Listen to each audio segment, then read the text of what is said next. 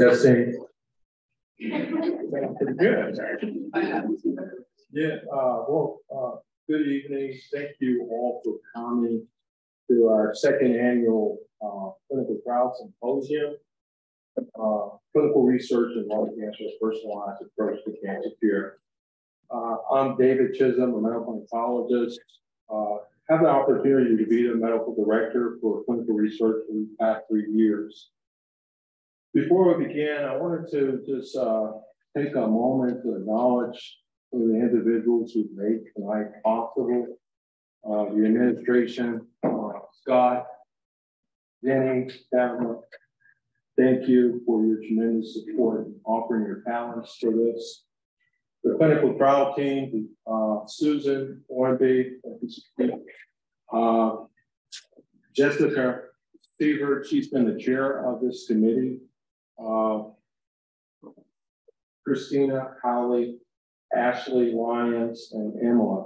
Uh, the MC for this program is going to be Catherine, who you, will be here to next. I just want to give a couple uh, ideas about uh, the importance of clinical research. I feel I see all the orange here, and I, uh, Knoxville community, we are winning. Indeed, we are. Not only in, in the sense of uh, undefeated team, but also in a manner in which we're uh, offering clinical research for our patients. I think it's a win-win opportunity. And I, I, hope you feel uh, that we're winning as well and be a part of this team. Cancer death rates uh, decreased to 2.3% per year on average for uh, males, 1.9% per year for females. This is according to the SEER database. Lung cancer, particularly, the mortality continues to decrease. That's in part uh, due to uh, decrease in smoking rates, but also the mor mortality rate has decreased as twice as fast as the incidence rate. So this isn't due to recent advances in targeted therapy and immunotherapy, which have changed the landscape for the treatment of lung cancer. In the last 10 years, the US Food and Drug Administration has approved up to 20 new medications for this devastating disease, and more are coming through clinical research. Uh, molecular, molecular testing makes personalized medicine possible for patients with advanced non-small cell lung cancer. Despite all of the wins we're doing now, we still must remain vigilant.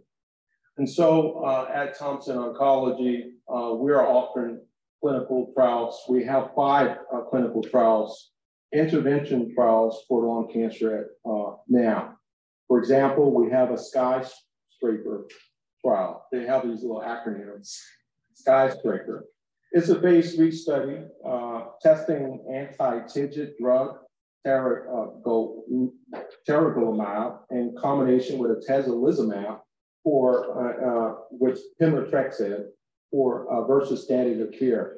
The goal is to get more people more uh, responsive to immunotherapy. So we're still investigating uh, this and how we can improve uh, lung cancer for our patients.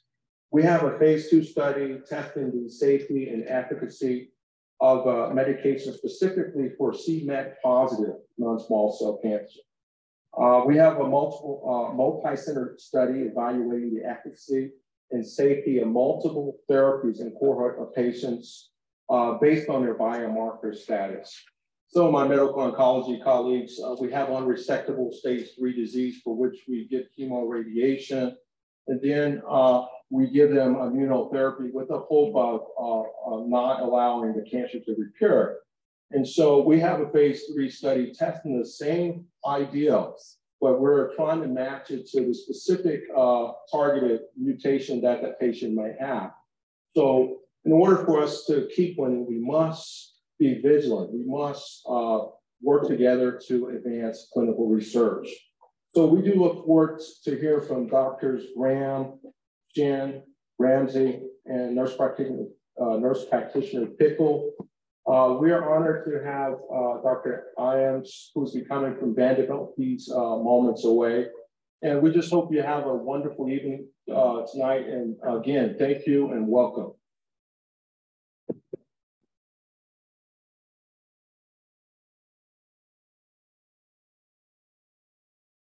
Thank you, Dr. Chisholm. Okay, so my name is Catherine and I'm your host tonight. Welcome to the second annual Clinical Trial Symposium. Um, I'm going to start with a raffle.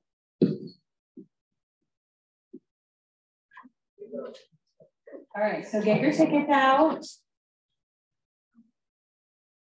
All right, so if you have the ticket two eight three three four three. Anybody? You are the winner, Ashley.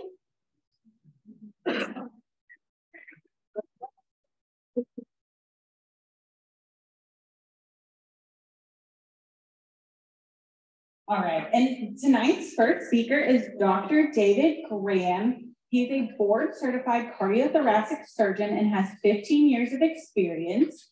He graduated from Albany Medical College and then did his general surgery residency and cardiothoracic fellowship at UT Southwestern Medical Center. Please welcome Dr. David Graham.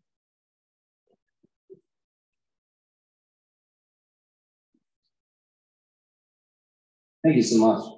So I did a lot of my training in Texas. Uh, I was born in Texas. Uh, I was in the military for a while. Thank you.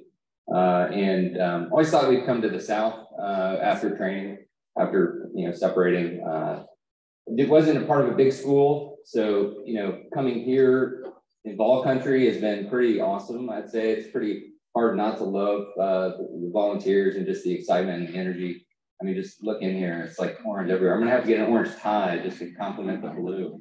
Um, so I hope this this kind of takes away some of the anxiety that we're gonna have tomorrow. Uh, I nearly had a heart attack with Alabama. I took care of a patient at Fort Sanders who did have a heart attack at the game, fortunately doing well. Um, so uh, hopefully that's not me. I'm a little worried about tomorrow, but uh, oh, I'm hoping just to give uh, thoracic surgery perspective to you know early stage lung cancer, um, and just talk about the role of a thoracic surgeon in this uh, day of age. It's it's come a long way and it's really changed. Um, there's still a lot of variability. This is kind of a community center, um, but you know we have a big UT center across the hall, very academic, and I you know we all study in academic places. But Thompson really kind of feels like an academic you know, setting as well, and I think that's really amazing. I'm very proud to be part of the team uh, at, at Fort Sanders and the Thompson uh, to really kind of help in this arena. And, you know, who'd think that we'd be talking about early stage lung cancer and surgeons having a role with biomarkers and other things. And so we'll touch on some of that. But it's pretty exciting. Thank you for putting that slide in.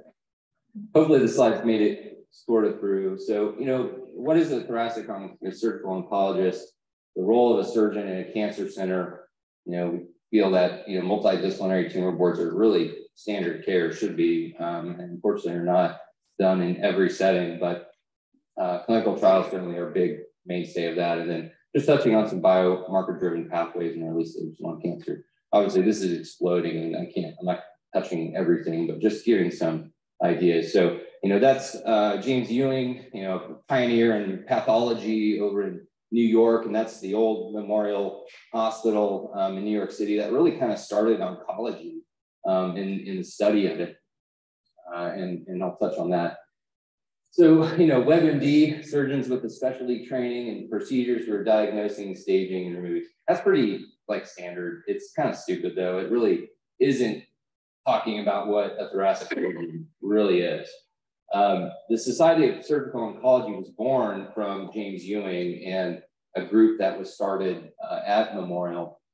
Uh, and it evolved into the Society of Surgical Oncology, which is a big foundation that, you know, in a group that really pushed for better care of cancer patients. Um, early on, surgeons were the only ones to treat lung cancer or treat cancer in general.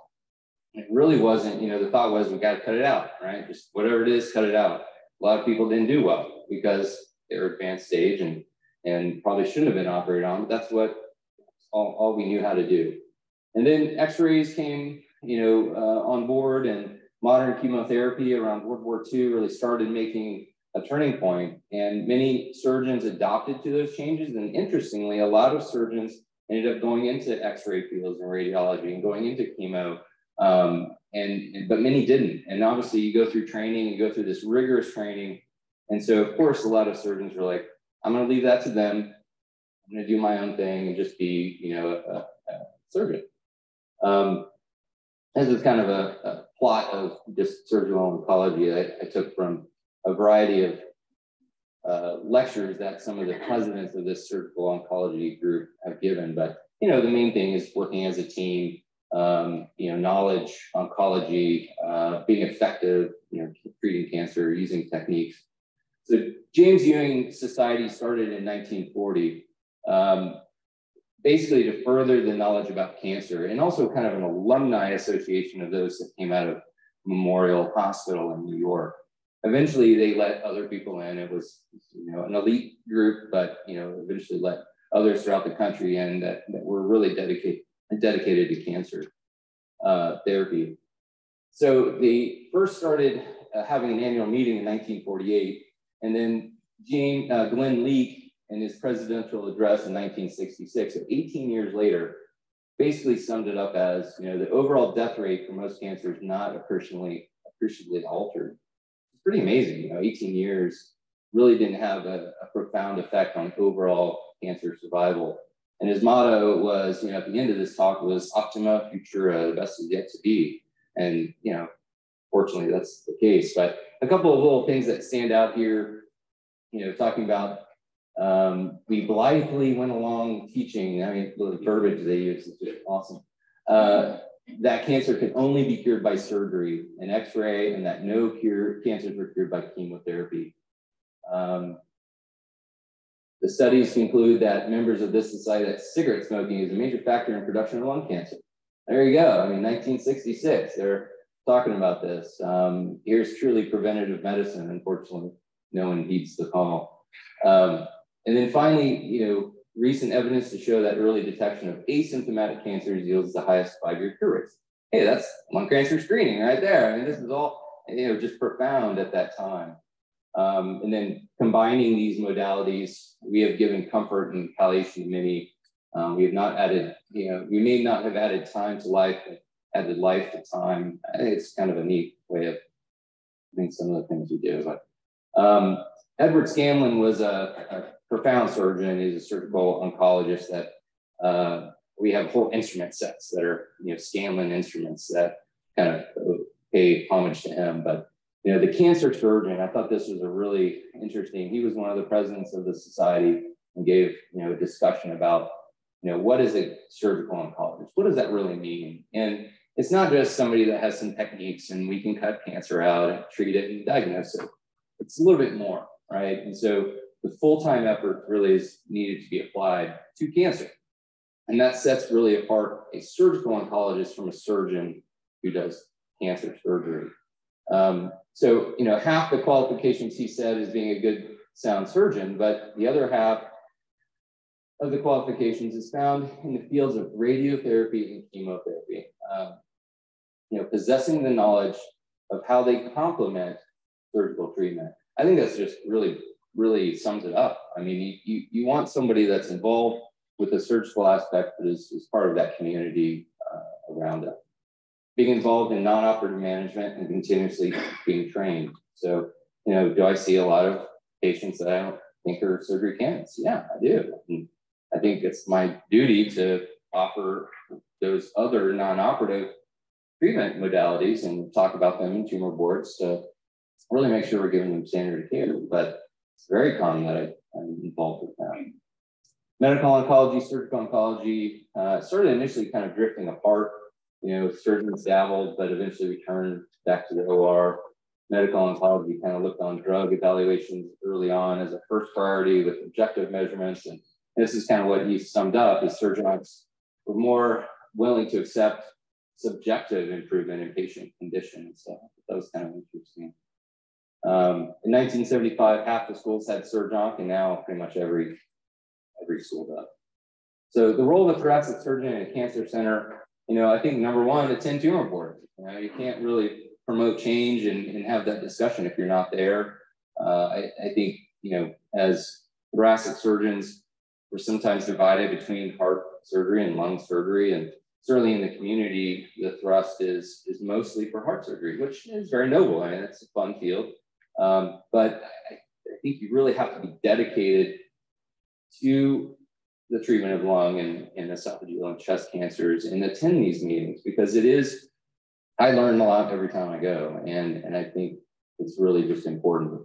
Um, be a colleague to all parties. You know, we, we obviously, it's a, a, big group of folks with the oncologists, um, other surgeons in the room, nurse navigators, uh, which, you know, do a huge role, uh, radiologists, pathologists. It's just a great opportunity. So the oncologic surgeon must join with his colleagues in other disciplines. Failure to become a member of the therapeutic team initially will make it more difficult to join with that team in an effective manner at a later time. But again, another one of those presidents, I gave a little discussion about his thoughts on multidisciplinary teams. So advocate for the patient, which I think is first and foremost.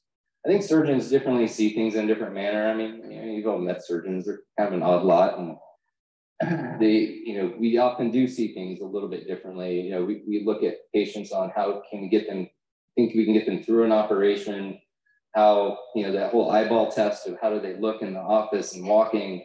Um, know, we just come in with a little different perspective on, on the care for the patient. But I think it's in a good way, I hope. And then just be a resource, you know, be available to answer questions and and you know for for a variety of other patients that come in um, just another sounding board. I, I, hope to kind of be that um, provide that role too. So discuss staging reviewing NCCN guidelines um, providing treatment options identifying patients for clinical trials you know and that's one big thing in tumor board. Uh, outcomes improved you know and there actually have been some studies on this and and you know five systemic reviews uh, was done in this paper in 2020. Uh, there were 16 to 50 studies in each of those uh, systemic reviews um, in all cancers, but the diagnosis, they found it was more accurate staging and, and assessments, better treatment, more appropriate and tailored. Uh, survival, eh, it wasn't so high on whether folks did better or not, but quality of life, satisfaction scores, waiting times, and I think all of those do improve. Um, and there's numerous times in our in our uh, group that I think you know when you're talking about what next steps need to be done, the pulmonologist sitting right next to you, and you're like, hey, I need this EBUS, and and they um, you can just jump on that and, and get the ball rolling. Uh, it's really the best you know way to deliver complex care, and so uh, I think is vital um, uh, aspect of any cancer center. So the impact of um, on lung cancer outcomes, we talked briefly about this in our tumor board, uh, but you know, in Roswell Park in New York, 4,000 patients, 20 percent referred to a tumor board, treatment planning, neoadjuvant, you know, all those kind of questions um, that they wanted answered. Um, and 41% there's a change in, in care plans, in NCCN guideline compliance rates significantly improved. I mean, isn't that what we're about is following the guidelines and making sure that we're giving the patient best care that we know. I mean, that, that that's why the guidelines are there. Um, and it showed improvement in overall survival, mainly in the higher stage groups, not surprisingly, but that was probably on folks that needed that therapy that probably was not going to get that therapy if they weren't presented to that board. Um, so, you know, join a clinical trial. I think that that is you know, kind of what we're here to talk a little bit about in, in this clinical trial symposium. And, you know, why join? Well, there's cutting edge treatment, there's frequent interactions with doctors, closer follow-up and more attention to details, options for patients with advanced cancer that may didn't respond well, helps other cancer patients in the scientific medical community and helps guide for future trials. So it's building blocks, so building and building and building on more and more. And, and why is that important in lung cancer? Well, our survival rate's terrible. I mean, you look at all the other um, you know, uh, common cancers and, you know, currently prostate and breast, pretty good survival rates and lung cancer, terrible. So what do we need to do? You know, um, we need to know what trials are out there. You know, if you don't know what is out there, it's hard to advocate for your patients. We need to uh, discuss at tumor boards um, and we need to increase funding. You know, it, this was something that came through uh, I think cancer.gov, but it was talking about, you know, how much lung cancer funding research there is in 20, I think it was 2020. you know, it's 411 million a year, you know, compared to, you know, breast cancer and, and HIV. It's just sounding that it's not more, especially since number one cancer death in America. Um, however, smoking spending is on the order of 8 billion. So, I mean, like, it's a, like, just funnel that money to where it's needed. Uh, we could get patients that that bottom right is, is I guess, was in a, uh, a video game, so it's not real. Um, smooth taste, expectant mothers, great. But I'm a Formula One fan, so you know we got you know th this was big back in the day. You know, talking about you know um, the excitement of you know smoking. Obviously, we got the Marlboro Man, Texas, uh, partly Montana. I don't know. Um, he just won $225,000, poured a bucket of champagne over his head. He's not going to follow all that with a boring cigarette. It's just crazy what, what we were peddled back in the day.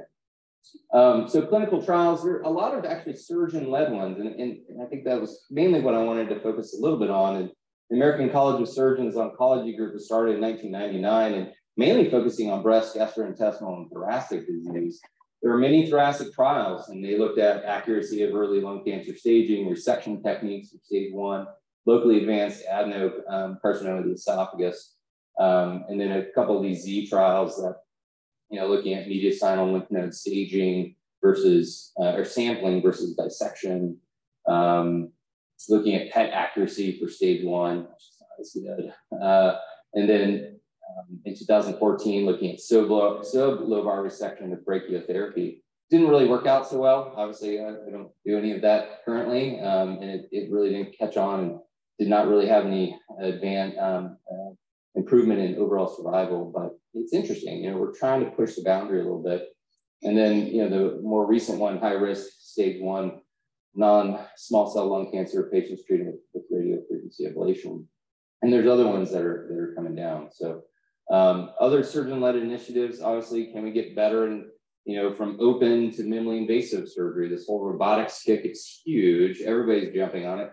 I am too. It's kind of fun. It's like a video game, and that's kind of what there it says, oh, Mr. Smith, we'll get started as soon as I finish my warm up. And it looks like he's playing some Forza or, you know, Grand Theft Auto or something up there. Um, it, it, it's fun. It's just, I don't know, it, but it does improve patient um, uh, satisfaction. It's less mortality, less length of stay. Um, so it actually does show an improvement for our patients, which I, I do think is key. And I think it's a little easier referring patients to surgery when they know that they're not going to get, you know, sliced open um, and and they, they know about lung surgery, they know about thoracotomies, and they're not pleasant. So some other kind of surgeon-led things here. Um, Tech, this is, you know, a, a, a, kind of, again, brachytherapy. Again, we're kind of coming back to it. Uh, but there's a trial going now and uh, in NYU looking at placing this specialized chemo or radiation therapy uh, patch, if you will, on areas of lung or on the chest wall perhaps if you have a resection and you want to deliver um, specific radiation to just one targeted area. It has gold, gold plated things that help shield that radiation from going, it kind of makes it unidirectional. So kind of neat, kind of exciting. Um, and so uh, there's this NIH sponsored trial to, to look at that. Uh, you just put in, you know, clinical trials and clinicaltrials.gov. There's a, there's a plug for them. Uh, you know, these are some of the things that are actively in there now. Robotic bronchoscopy with, you know, cone CT and this, and this special called ICG. It's a kind of a, a marker, kind of like methylene blue, uh, but is going intravenously and, you, it highlights, you know, things that are giving blood and perfusion um, to aid lung resections in patients with early stage uh, lung cancer. Um, this one I thought was interesting, comparing the effect of pulmonary vein versus pulmonary vein first ligation versus pulmonary artery first ligation uh, and decreasing circulating tumor DNA. And I'll talk a little bit more circulating tumor DNA, but um, it is, that sounds kind of fascinating. And then action lung, you know, active surveillance in early lung cancer, patients that are too high risk and, you know, what if we just watch them? But um, biomarker driven pathways, finally, you know, in early stage lung cancer, you know, it, it's really exciting to be able to to offer patients that I see uh, some opportunities to help them live longer and better. Um, usually that's meant for folks that in, in, the past when we were doing training had lymph node disease, then they go to medical oncology and, and, and um, have that option for adjuvant therapy. This is pretty cool that stage one and two lung cancer patients have some options that have never really been out there before. Um, we do know recurrence rates are, even for early stage cancers, fairly high. Um, chemotherapy was really not beneficial to early you know, stage one cancers, um, but it was stronger for those patients um, 2A and beyond. So how can we target those young, early kind of stage patients uh, that are those high risk ones that are going to recur? And, and so these are the conversations we're starting to have. And obviously with the biomarker you know, pathways that are out there, there's, there's tons of these driver mutations and that we're finding more and more in, and there's a lot of studies that are looking at that. So in our guidelines, um, you know, stage 1B, 2A and 0, chemotherapy for high-risk patients. You know, 2A, chemotherapy for high, so what does that mean? You know, high risk and they're in the NCC, NCCN guidelines is poorly differentiated tumors, vascular invasion, wedge resection only, greater than four centimeters, uh, visceral pleural involvement, and then unknown lymph node status. There's not a lot in there about biomarkers and stuff, but we might start finding that, you know, creeping into the guidelines, which would be helpful as these studies are coming in. So just a few of the ones that are just are out there, just kind of finished. IMpower uh, 010 was was you know has re recently showed that you know the group that was in that PDL1 over one percent had a benefit, and so um, we're we're getting you know obviously some improvement in those type of patients. ADAURA, uh, mainly for the EGFR, and then Alchemist is those were immunotherapy alone, but Alchemist is using chemo in patients that had ALK and EGFR, and I believe also PD-L1, but um, looking at chemo plus IO. So you know, we're going to see more and more of these mutations uh, have um, studies that go along with that to really further uh, this question of how can we get those high-risk patients treated. Another one that I've actually been using uh, as well as this oncocyte. It's kind of oncotype, like for breast and colon, but it's it's for lung and uh, 14 gene assay uh, that um, 11 of them are, are, real genes. The three are just um, controls. But you know, looking at stage 1A, 1B, 2A adenocarcinomas, uh, and you know, validated that in this assay, and it's proprietary. They don't tell you, you know, what genes are abnormal and whatnot, but based on their assessment, they had high risk, intermediate, and low. As you can see, the high and intermediate risk didn't do as well. So it was kind of risk stratifying a certain cohort of very early stage lung cancer patients and, um, and finding that if you treat them, their uh, uh um, freedom from recurrence and survival, disease-free survival are actually back up to you know the baseline if, if you're low risk. So pretty, pretty amazing. And so um, I have sent some of my patients for that, uh, about 28% when I last I counted, um, which is a fairly, fairly good amount of, of those surgical patients. 57 um, of those were low risk and um, the others were intermediate or high. Um, all but one chose to uh, proceed with adjuvant chemotherapy. Um, and so I think it's just important to discuss results with patients. It's helpful to give them some numbers. Um, I love this this cartoon. You know, lifelong smokers have one in two chance of dying from smoking related disease, and oh, never happen to me. And the odds of winning the Powerball lottery now it's like one point some billion, right? Or, um, are 80 million to one. And he's like, oh, it could be my lucky day. And, that's really how patients think. They really do. It's not not that far off. So really, in conclusion, you know, current thoracic surgical oncologists have evolved from just being proceduralists and cutting out tumors to really becoming cancer surgeons that help guide the patient with really the best evidence-based cancer care. Tumor boards, I think, are just really vital to providing that individualized cancer care that has been proven to help, you know, with, with staging treatment and care plans um, and in select patients help overall survival. Uh, surgeons need to be an active participant with the cancer center. Um, uh, clinical trials are really vital to help understand lung cancer so we can treat it more effectively. Uh, we need to really risk stratify patients with high risk features. You know, using molecular studies, oncocyte is just another you know, opportunity, but there are many other ones out there, and there's other studies that are coming down the pipe at, you know, all the time really help us answer that question. So it's pretty exciting. and biomarker driven pathways in early lung cancer, up and coming, will be a major force. Obviously, it's not going away, and it's just going to continue to evolve. Uh, and all this, you know, in the setting, um, setting the stage for you know changing guidelines, which I think will help. You know, obviously we follow guidelines pretty, you know, pretty adherently. We do feel that's important, but you know, how much is that really done in the community until until we get you know the guidelines changed to really show these benefits? It's not going to really trickle down. So I think you know really making a big push for for making those um, changes in guidelines will be will be key. And then then we might be able to move the needle. That's kind of what that was. Move the needle um, to the right to help you know lung cancer survival it, it is pretty dismal. And um, I think there's a lot of opportunities for improvement. So November lung cancer awareness. We, we see it. It's, it's great you had all those things. I'm going to definitely have one of those little retractable things. That's awesome. But any questions, would be happy to answer. Yes, sir. Hi, Dr. And Tony Vassallo, we spoke on the phone. Yes, sir. Yeah. So when you're determining who to send a DetermaRx study on, what obviously you wait for the pathology. Then what makes you choose which uh, stage one patients or stage two patients to send it on? I mean, if they're if they're state if they're one A, one B, or two A, I I to give them the spiel. I just talk to them about it and say, you know, based on the data, based on what we see, I think you'd be a candidate. Now, they're adenocarcinomas or adenosquamous, they will do, but it's not for squamous only. So that, that does limit some of your patients, um, but I know it's the most common. So, you know, we do see a fair amount of that. I think they can do a few other subtypes, but that's really what, what the tests were validated for. So pretty much anybody in that range, I will talk to them about it and, and get their um, their thoughts. If they say it doesn't matter what it shows, I don't want chemo.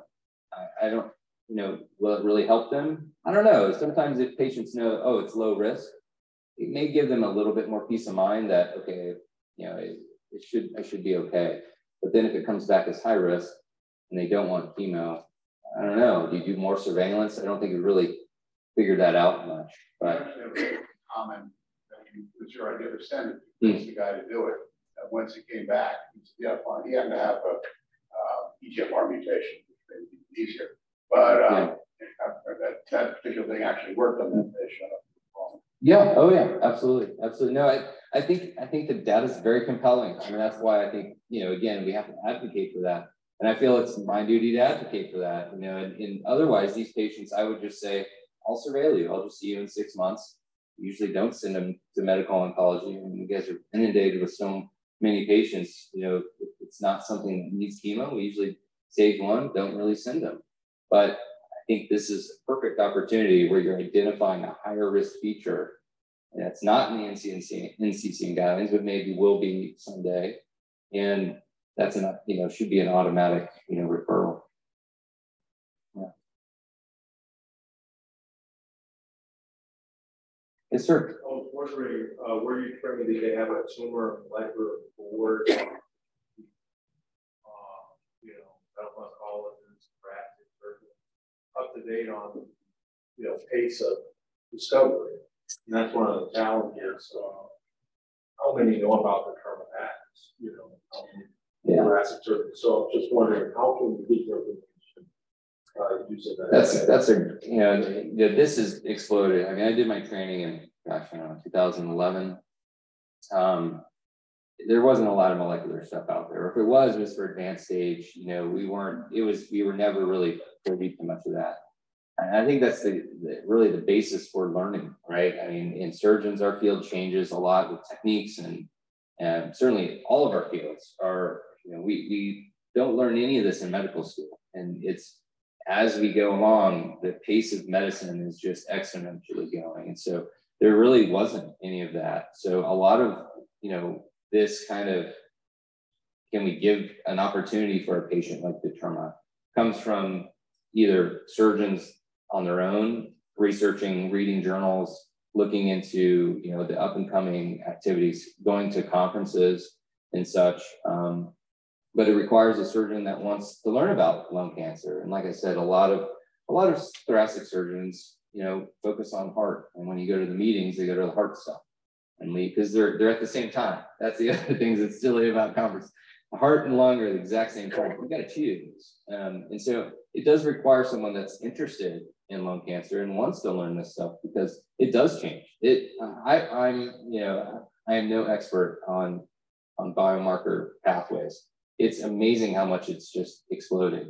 And I think it's important to stay with a finger on the pulse because it, it is constant. And before too long, you're, you're going to be underwater and can't figure it all out. But I think um, going to tumor boards has been great as well because that's where you also learn about these, these other drugs and these other medications that, that help with these mutations. But um, I think it's just staying driven and staying, you know, knowing that this helps our patients and it's my it's kind of like my duty to, to stay up on it as much as you can. And obviously I appreciate the help with our medical oncology teams to really, you know, help the, the dumb surgeons stay uh, stay in the mix because it's it's it is a lot. It's a lot of info and it's um it's certainly exciting.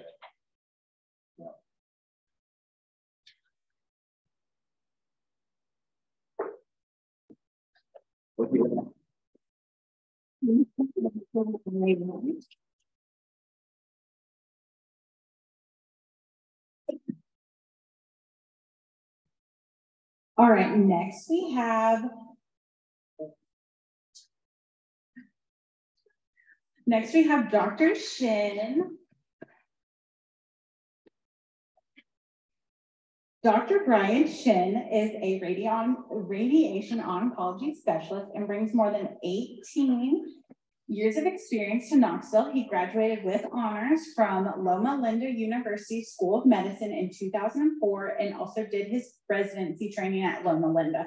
Please welcome Dr. Shin.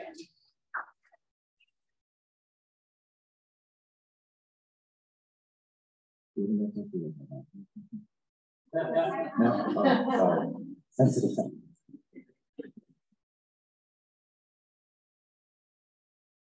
Appreciate the opportunity to uh, speak to you tonight about uh, proton therapy uh, in the setting of lung cancer. Um, I moved here about a year, a little more than a year ago.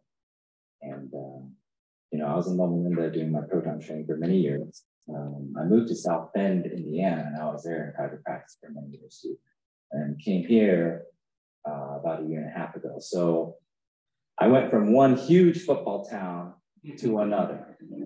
And, um, you know, you can't really compare South Bend and Knoxville. However, I feel like the sort of the football fervor was equivalent, despite despite South Bend's small, uh, being a smaller population, they were very into their football team. And uh, um, and so I, I, appreciated what a good football team does uh, for a community.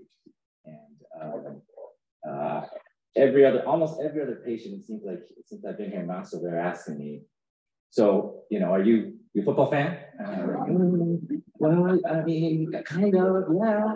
You know, I, I, I support the volunteers. And so it's like, okay, okay, okay. So, you know, it's like, it's like, like, whoa, okay, you know, uh, but, uh, but no, we, we, uh, this is an exciting time, I guess, for all of us. Um, I just got here. And so, I don't know, apparently Tennessee hasn't been good for a long time. And finally, it's like, that's changed. And so we, we, we appreciate it. I'm glad to experience this with you all. Um, but uh, I wanted to,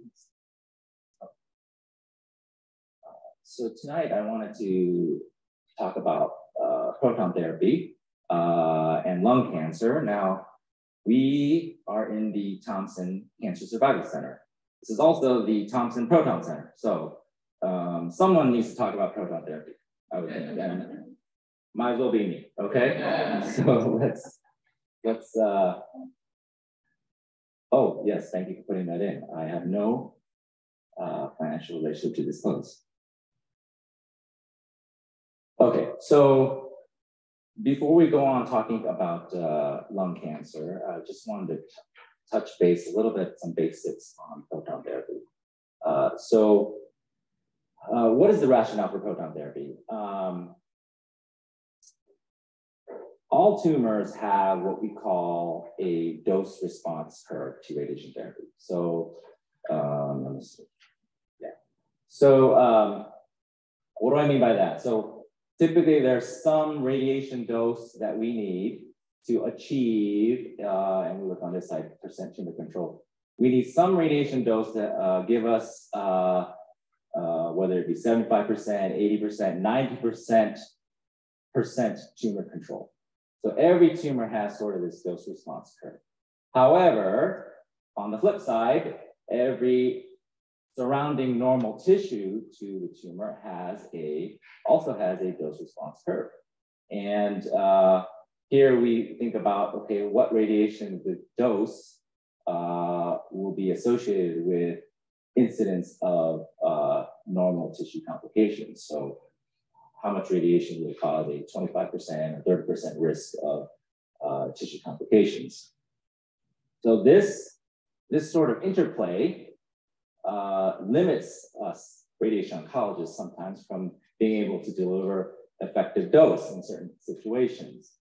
So if we have a tool or a modality that allows us to have more conformality of our radiation, we can um, deliver the radiation more closely to the tumor, which would allow us to deliver higher doses of radiation while still protecting uh, normal tissue and uh, keeping the risk of uh, normal tissue complications uh, at an acceptable level.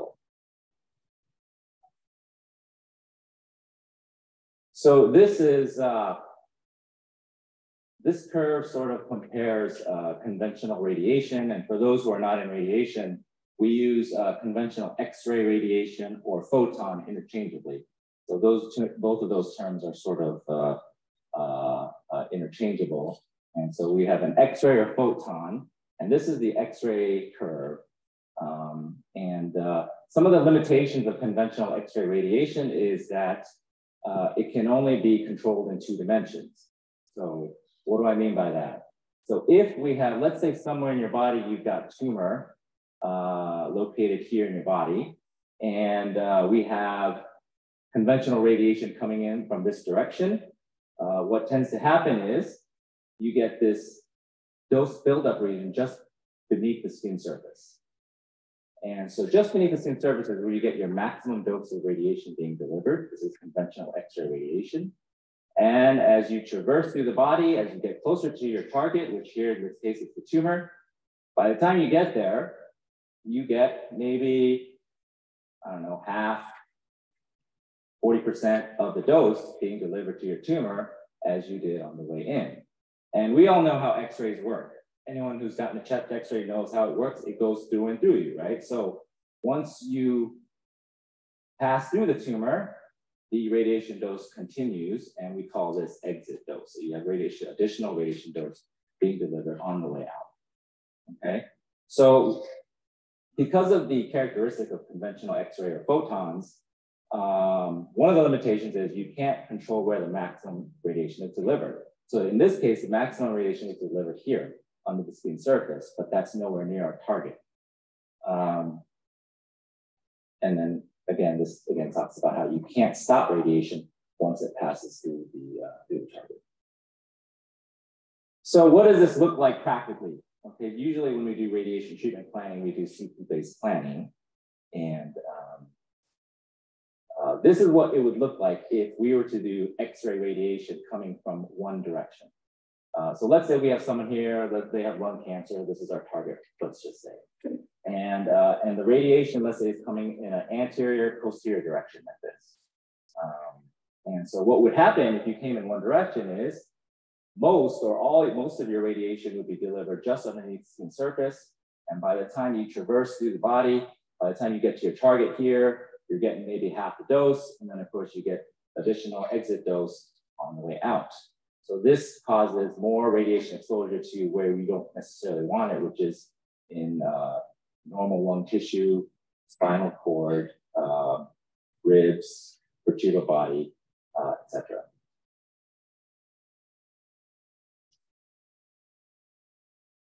So, so this, so this here, this is not practical. We, we cannot treat anyone like this because this has absolutely no therapeutic benefit.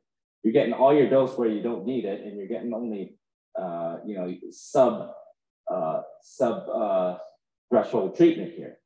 Um, so how do we how do we do it with conventional X-rays? Uh, the way we do this is we have to come in multiple directions.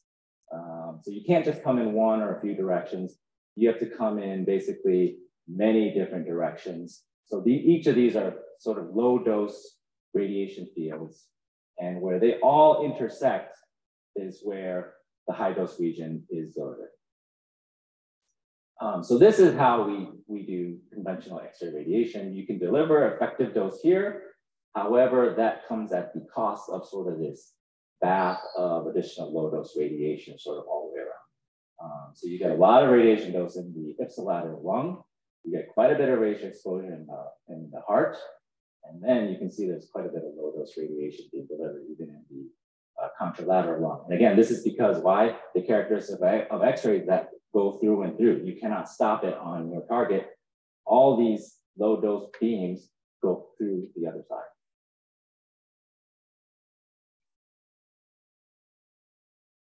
So if we compare that to proton therapy, uh, the advantage of proton therapy is that it can be controlled in three dimensions.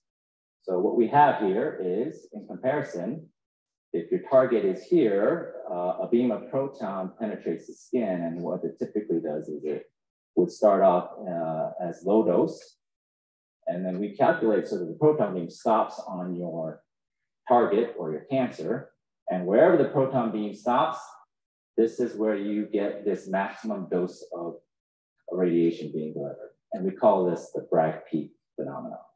And because it stops, that's where it ends, and you don't have this, um, what we call the exit dose uh, associated with proton therapy. Um, so sort of the, so, so, the advantage of proton therapy is basically here and here. Um, the simple way to say this is you get more radiation where you need it and less where you don't need it, which is on the way in and on the way Okay, so if we were to uh, do a similar treatment, this is what a proton uh, treatment plan would look like. So we, of course, wouldn't come in as many directions. In this case, you can see that we're coming in, uh, looks like one, two, and three directions. Um, and uh, we're able to achieve the same high dose since we're using a modality, uh, a, a, radiation modality that stops on your target. Uh, we're able to protect more of the surrounding normal tissue. So more of the ipsilateral lung, we have more cardiac sparing. And then here you can see pretty much completely spared the, uh, uh, the contralateral lung. And then if we just sort of put those two treatment plans side by side, you can kind of see that, uh, again, you've got quite a bit of radiation exposure in the contralateral lung with X-ray radiation therapy, uh, more cardiac dose, and more ipsilateral lung dose. And this is important, uh, especially in folks who have lung cancer. A lot of times they've got pre-existing um, uh, COPD, so they already have low lung, lung reserves to begin with. And with lung tissue being exquisitely sensitive to low, even low doses of radiation, uh, being able to spare lung tissue in that setting uh, becomes quite important because even low dose radiation here can cause irreversible scarring or uh, irreversible lung damage. And this can be important for someone who already has low lung reserves.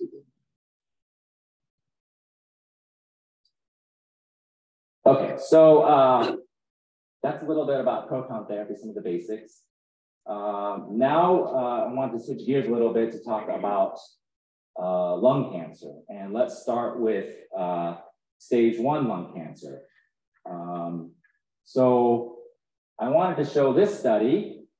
Uh, this is a study that I participated in at Loma Linda University back when I did my training uh, hypofractionated proton beam radiotherapy for stage one lung cancer. Um, now, you can see I'm right here. See that right there? I'm in third position, okay? So when you're in training, you can never get first position. Even though you do 90% of the work, you're not gonna get first position. And then uh, this, this guy right here, he's the chairman of the department at the time. He still is. So if you're chairman, you're automatically get second position no matter what you do. Okay. So should I have been second position? Probably, but you know, that's just the way it goes sometimes. Okay. And this is what, 15 years ago? I'm not bitter. Okay. Uh, but I bring up this, this study not because I was involved in it, although that may be a small reason. Uh, the, the, the, main reason I bring this up is because this study originated at Linda University. Now, at the time uh, when we did our training, Loma Linda was one of the few proton centers in the United States. And uh, so a lot of the clinical trials or the early experience with proton therapy started at Loma Linda. Uh, the follow-up, a lot of the follow-up uh, for clinical trials tend to be much longer at Loma Linda University uh, clinical studies, uh, and they tend to have more patient accrual. So the update to this study that I was involved in was published in uh, 2013. And uh, so this was a phase two prospective study of 111 patients. That's quite, that's actually quite a lot of patients. Most other studies are 60, 50, or maybe as high as 80, but uh, over 100 is one of the bigger ones that I've seen. So we looked at 111 patients with stage one non-small cell lung cancer. They were medically inoperable uh, due to uh, comorbid medical condition, or they just refused surgery for whatever reason. And so what we did is we treated, we treated these patients with 10 treatments um, in escalating doses of 51 gray, 60 gray, and 70 gray. So for those who, who are not in radiation, uh, um, you know, the way we measure radiation is in gray. Uh, so so uh, the early experience started with 51. Um, and when we established the safety of that treatment, we increased it to 60.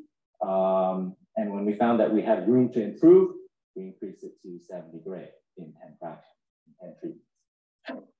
So we, our results are pretty good. Four-year overall survival increased with increasing dose level, and this makes sense. So for the 70 gray arm, uh, or for the 70 gray patients, uh, we had 51% four-year overall survival.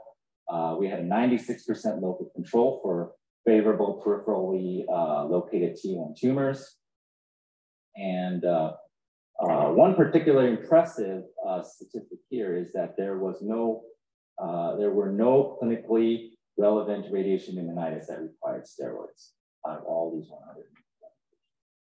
So that's quite impressive. Uh, most other studies uh, will have at least a single digits or uh, 10, 11% uh, uh, pneumonitis requiring steroids. This is another, another study out of Japan. so they, this is a prospective study of 80 patients uh, so not as many, but uh, still a good number. Uh, stage one non-small cell lung cancer, medically inoperable or refused surgery, and they were treated with uh, particle therapy, so either proton or carbon ion, and they were treated to 60 gray in 10 fractions. Uh, they also had pretty good results, three-year overall survival of 25%, hospital-specific survival 86%, local control 82%. And they had a 11% grade two pneumonitis, uh, 2% grade three pneumonia. What, what were the three-year markers in years? Because that's a big jump. Yeah, yeah. I, I, don't think we specifically looked at three-year overall survival, but, uh, ours was more the four and four. Yeah, I mean, I wish we could all do apples and apples across all studies, but sometimes everyone has sort of their own. They want to pick their own measurement. whether it be two year or three year or four year. Uh, okay, so this is a meta-analysis comparing uh, proton uh, stereotactic hypofractionated proton with uh, with uh, SBRT or X-ray or photon SBRT. So, um, you know, when I was involved in, in the proton studies, this is in the earlier days when there was no such thing as photon SBRT. That's a relatively newer uh, entity that, that's uh, been around uh, for the past five to 10 years. Um, so back then, proton therapy was a very uh, a very effective treatment uh, for early stage lung cancer. Um, but now with uh, photon SBRT, we have a, uh, a pretty good alternative actually. And so there's this question of, okay, proton therapy is very effective, but we also have uh, photon SBRT. What's the difference? Is there an advantage of one or the other? And so this meta-analysis looked at uh, 72 photon SBRT studies, nine hypofractionated proton studies. And uh, what they found was that actually uh, proton patients had a, a, a bigger median uh, tumor size, 2.9 centimeters versus 2.4 centimeters. Um, and so what they found was proton therapy had improved survival, uh, five-year overall survival, 60% versus 40%. Uh, improved progression-free survival, 57% versus 37%. Um, and then improved three-year local control uh, for proton in favor of proton therapy.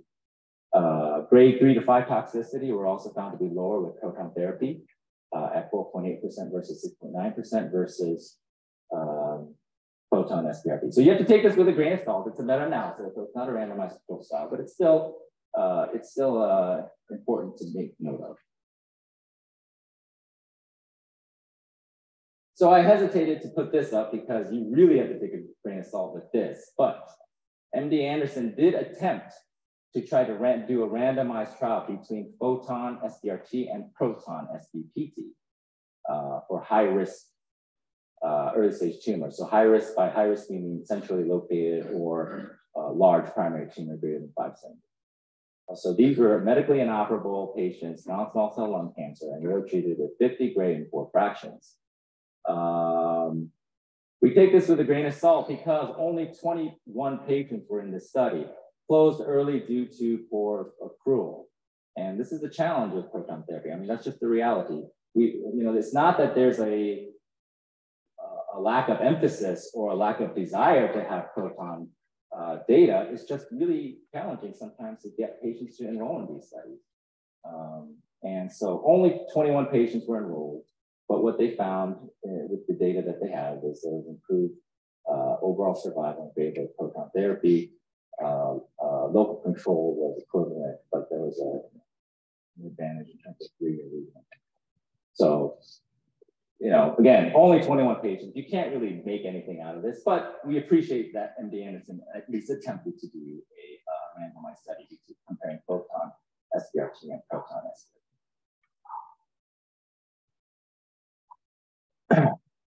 Okay, so uh, now switching gears to locally advanced non-small cell lung cancer.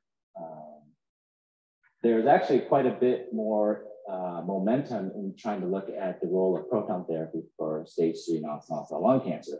We talked about how with stage one, there's a pretty good alternative with photon SBRT. So, um, so that appears to be a lot of where that, uh, that's headed in terms of stage one lung cancer. But with stage three lung cancer, uh, there's quite a bit of interest in trying to decide what type of role proton has in this setting.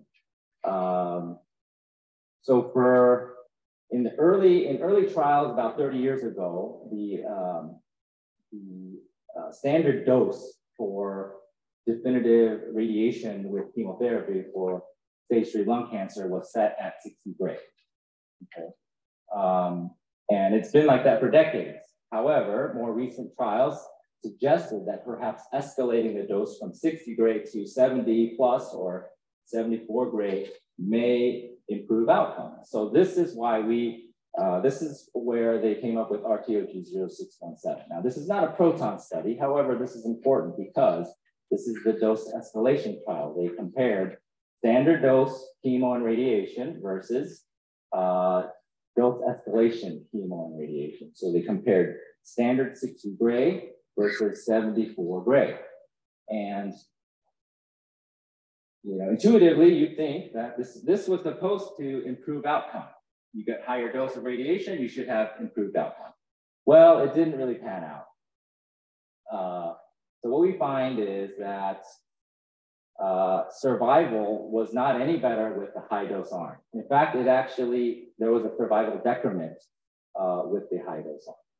Um, as you would expect, there was a higher uh, toxicity profile with the high dose arm. So particularly with esophagitis, you had 21% esophagitis versus 7, 7% esophagitis uh, for the standard dose arm. Uh, however, one thing that, that uh, was, is important to note is that uh, on multivariate analysis, they found that heart dose was the main driver of overall survival in the high dose arm. So uh, in the discussion section of, of this paper, the authors are quoted as saying high dose, uh, heart dose might best explain why patients given 74 gray did worse than patients given the 60 gray. So the question is, did increased heart dose in the 74 gray arm lead to an increase in intercurrent cardiac deaths? And if you had a treatment modality that was able to simultaneously increase your dose while protecting uh, the heart, would that um, affect outcome? And so again, this is, I showed this slide from before, but if uh, if if you can, you know, with, with this type of treatment, if you increase this dose, then guess what? All of this increases too. Um, so including heart, contralateral lung.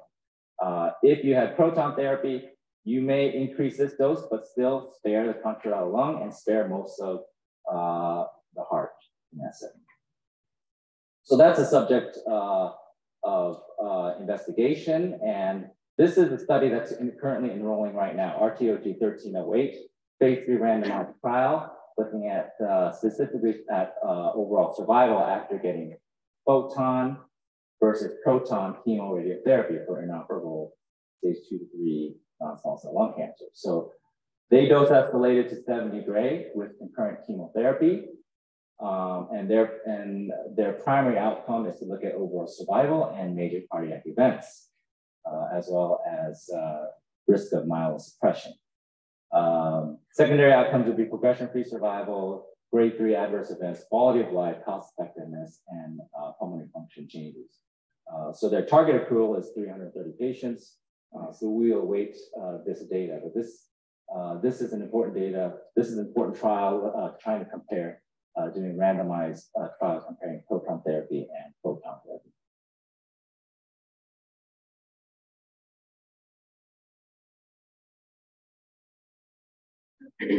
okay, so uh, out of respect for Dr. Graham, we got to also talk about surgery and trimodality there. Um, so uh, this landmark paper, intergroup 0139, sort of established the role of trimodality therapy. In general, standard treatment is standard uh, dose radiation with chemotherapy. And this trial attempted to look at the role of radiotherapy with chemo uh, randomized to surgical resection or, or um, definitive dose uh, uh radiation therapy. And uh, so uh, they looked at 429 patients um, and randomized between definitive dose radiation with 61 gray with chemotherapy versus pre-op chemo radiation to 45 gray followed by surgery and uh, consolidated chemotherapy. Um, the surgery arm had uh, higher treatment-related death. And interestingly, uh, patients who underwent pneumonectomy had a 26% perioperative mor uh, mortality. So in terms of outcome, uh, they did have a uh, significantly improved five-year progression-free survival, 22% in the surgery arm versus 11%. However, this did not really translate into an overall survival benefit. Uh, median survival was equivalent. Five-year overall survival was starting to trend toward in favor of the surgery arm, but it never uh, reached statistical significance. So the question is, if trimodality therapy can be done more safely, would survival be improved? Um, I think there was another analysis done in this paper where they took out the pneumonectomy patients and, and focused only on the uh, lobectomy patients, but they found that the lobectomy patients did actually have a statistically significant overall survival event. And then this is just uh, taking it one step further. Uh, so this is trimodality therapy. Instead of a lower preoperative dose, they attempted to go to a definitive dose, uh, a standard definitive radiation dose to 60 gray. And uh, so they looked at 57 patients pathologically proved to be N2 or N3 disease. Um, and uh, they started with induction chemotherapy, followed by concurrent chemoradiation to 61 gray, followed by surgical resection.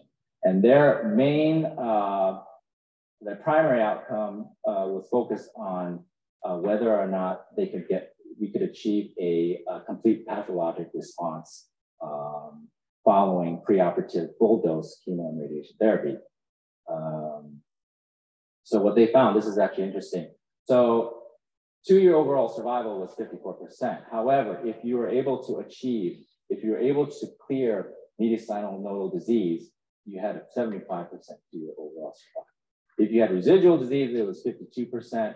And then a few patients were not, ended up not being eligible for surgery, so they had a 23% two-year overall so this again raises the question, if we can dose escalate with radiation therapy, um, with more definitive doses, and if we can clear the mediastinum, can we improve survival? And so th these are not proton trials per se. However, these are, I, I, point these out as opportunities for potential proton trials that, that can look specifically at these issues. So in conclusion, proton beam radiation therapy has the advantage of limiting the dose of radiation beyond the range of the proton beam at depth.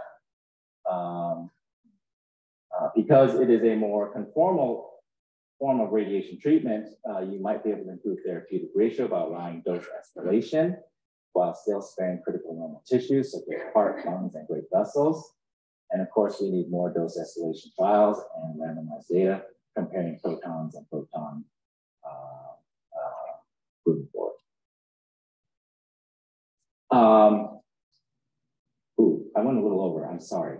Uh, I will, if it's okay with you, I will end with a proton joke. Okay, can I end with a proton joke? Okay, so uh, a proton and a photon walk into a bar, okay? And they decide to order their first drinks. So the photon just keeps ordering more drinks and more drinks and more drinks. So the bartender goes to the proton and he said, hey, don't you want to order more drinks so you can drink with your buddy? And the proton says, no, I'm good. Protons know when to stop.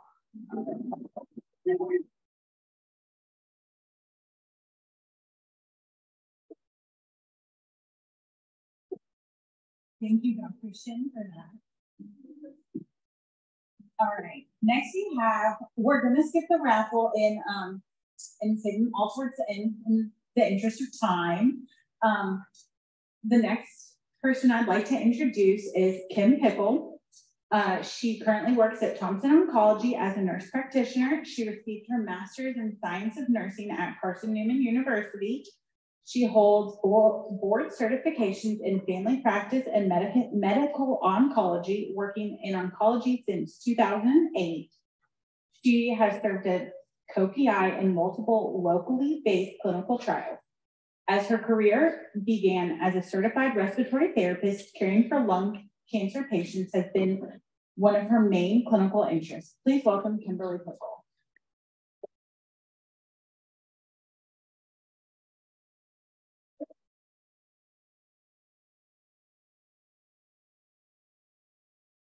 Okay, so today we're going to talk about immunotherapy in lung cancer and toxicity management. This is my only disclosure.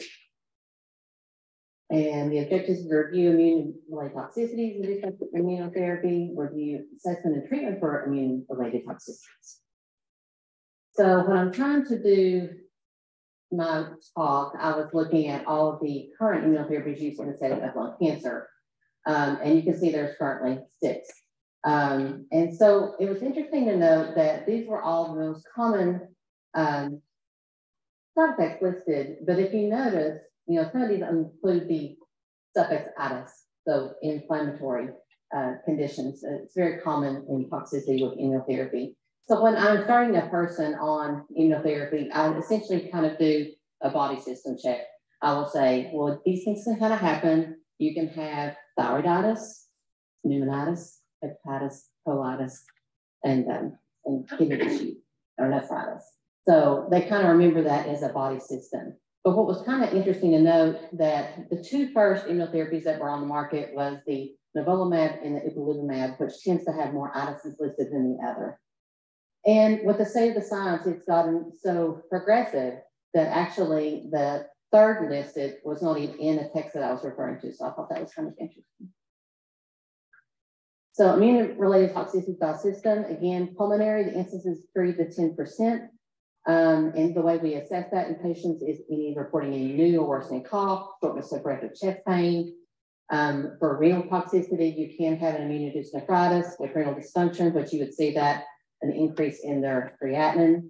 Uh, gastrointestinal, very common is colitis. So when we first started treating uh, melanoma with doublet um, ipilimumab and nivolumab, we would say, make sure that you don't treat diarrhea just as diarrhea. Make sure that you just don't think that this is just a common belly bug. Make sure you tell your PCP or your emergency physician that you're on these drugs because you have to be treated differently than the average patient walking into the door. Um, endocrine therapy, uh, I'm sorry, endocrine toxicities can occur in the thyroid, causing thyroiditis. So it's interesting to note when you're following along with the patient, this can actually cause a induced hyperthyroidism, which we'll see a low TSH, and essentially will kind of wait out for that thyroid to burn out and turn into a hypothyroid condition. And then our threshold to starting um, thyroid replacement therapy is around a TSH of 10. Um, pituitary um, immunotherapy, adrenal, and you can have some low cortisol levels with that. That's commonly used with cortisone orally, um, pancreatic insufficiency. Um, and so the endocrine, I think I left a number out there, that's five to 10% incidence with endocrine uh, immunotherapy toxicities. Interesting, also listed is type 1 diabetes mellitus. I'm assuming that's coming from the pancreatic inflammation.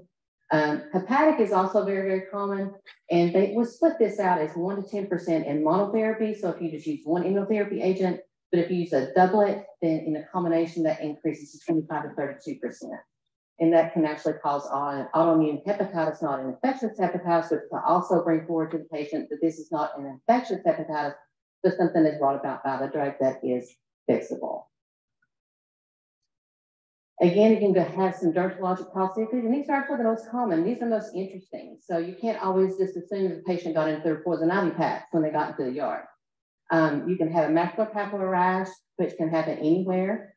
Um, they can have a simple itching. So when I first started treating people with the, in the setting of melanoma, um, they would just have itching.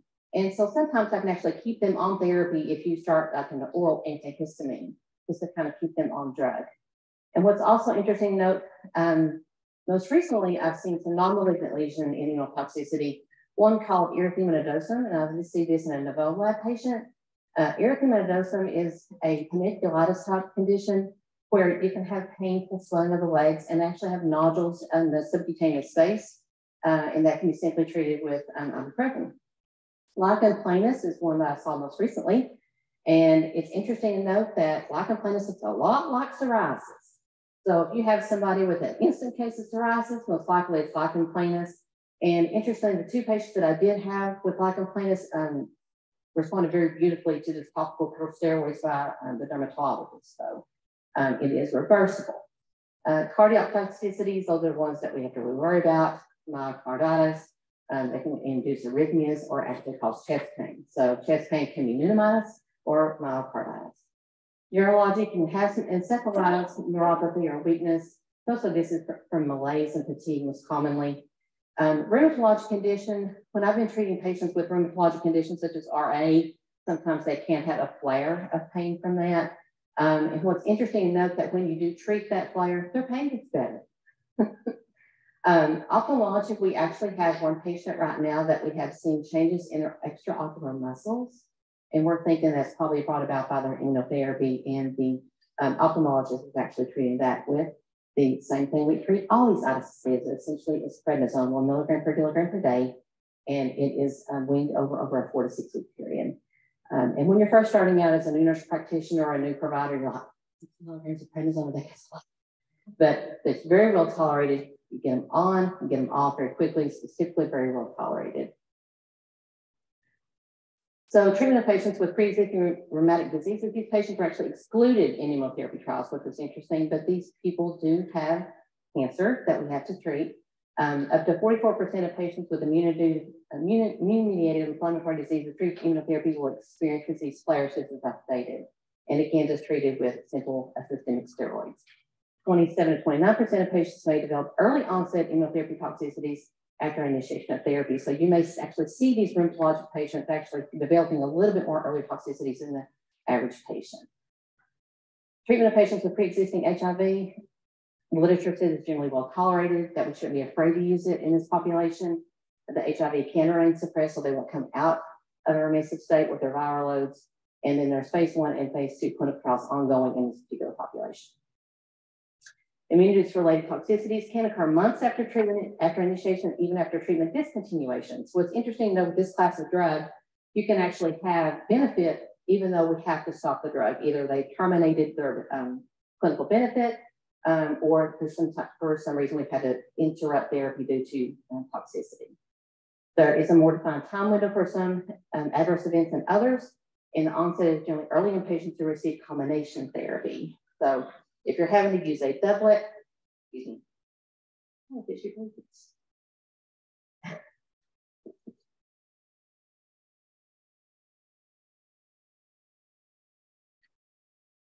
me,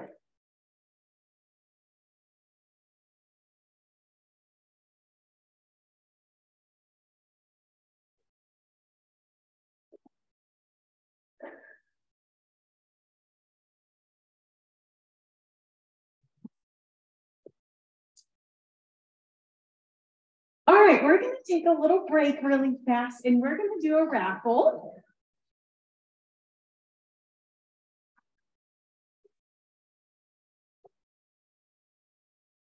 All right, so if you have the ticket number, you guys all have your tickets in hands? Uh, two, eight, three, three, four, one. All right.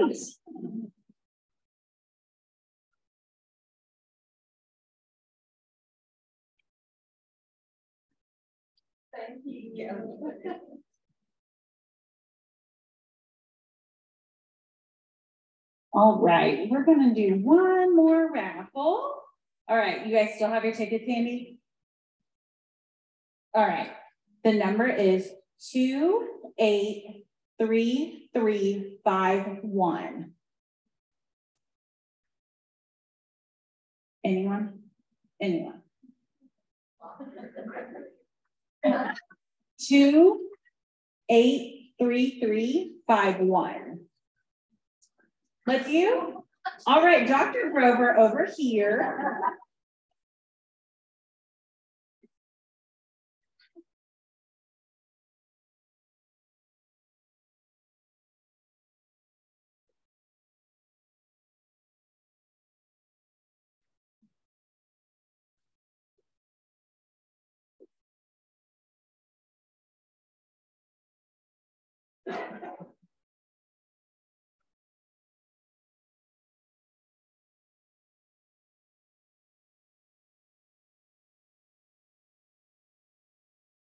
All right, we're to do our last raffle.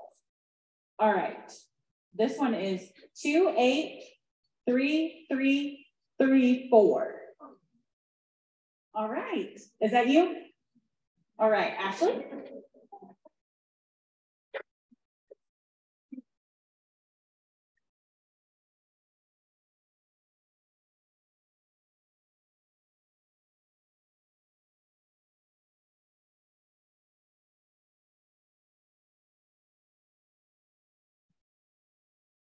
All right, we're going to go to our next presenter, Dr. Chester Ramsey. He's the Chief Medical Physicist at Covenant Health and an adjunct professor with the Nuclear Engineer Department at University of Tennessee. He is board certified by the American Board of Radiology and the American Board of Medical Physics. Dr. Ramsey and his collaborators have pioneered the clinical develop, developed of new radiation therapy technologies such as intense, intensity modulated radiation therapy, image guided radiation therapy, and respiratory gated radiation therapy. He has published over 150 peer reviewed manuscripts and scientific abstracts.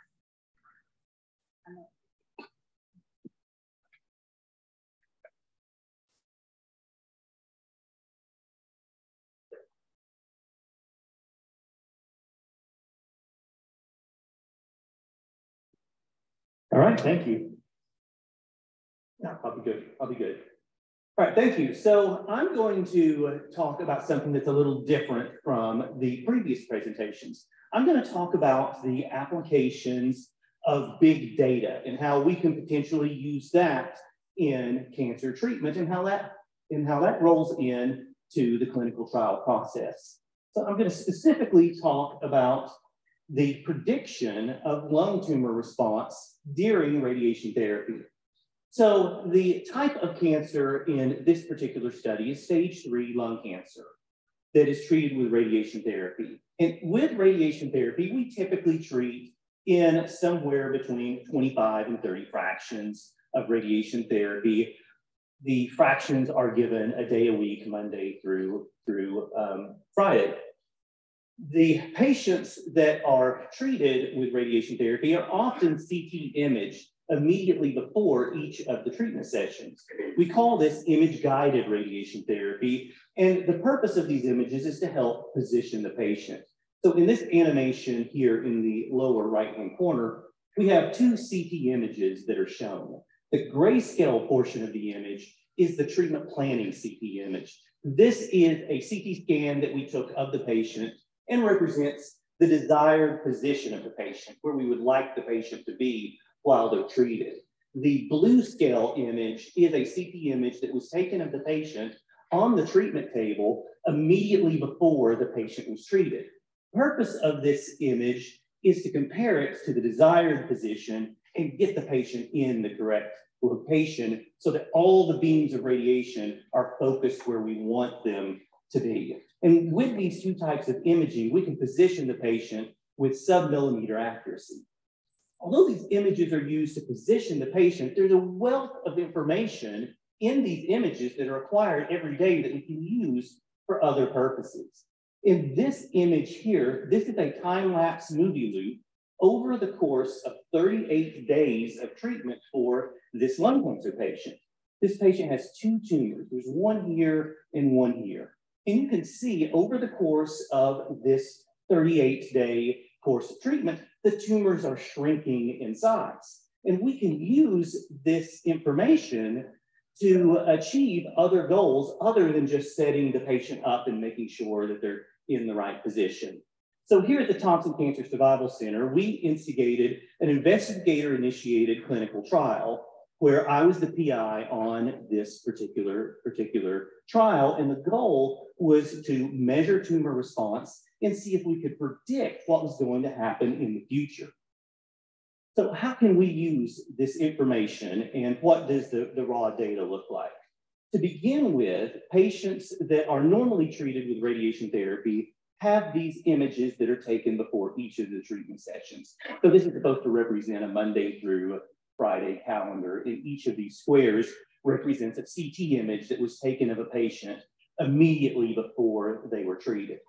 So retrospectively, we can go back and look at what this tumor did over the course of treatment.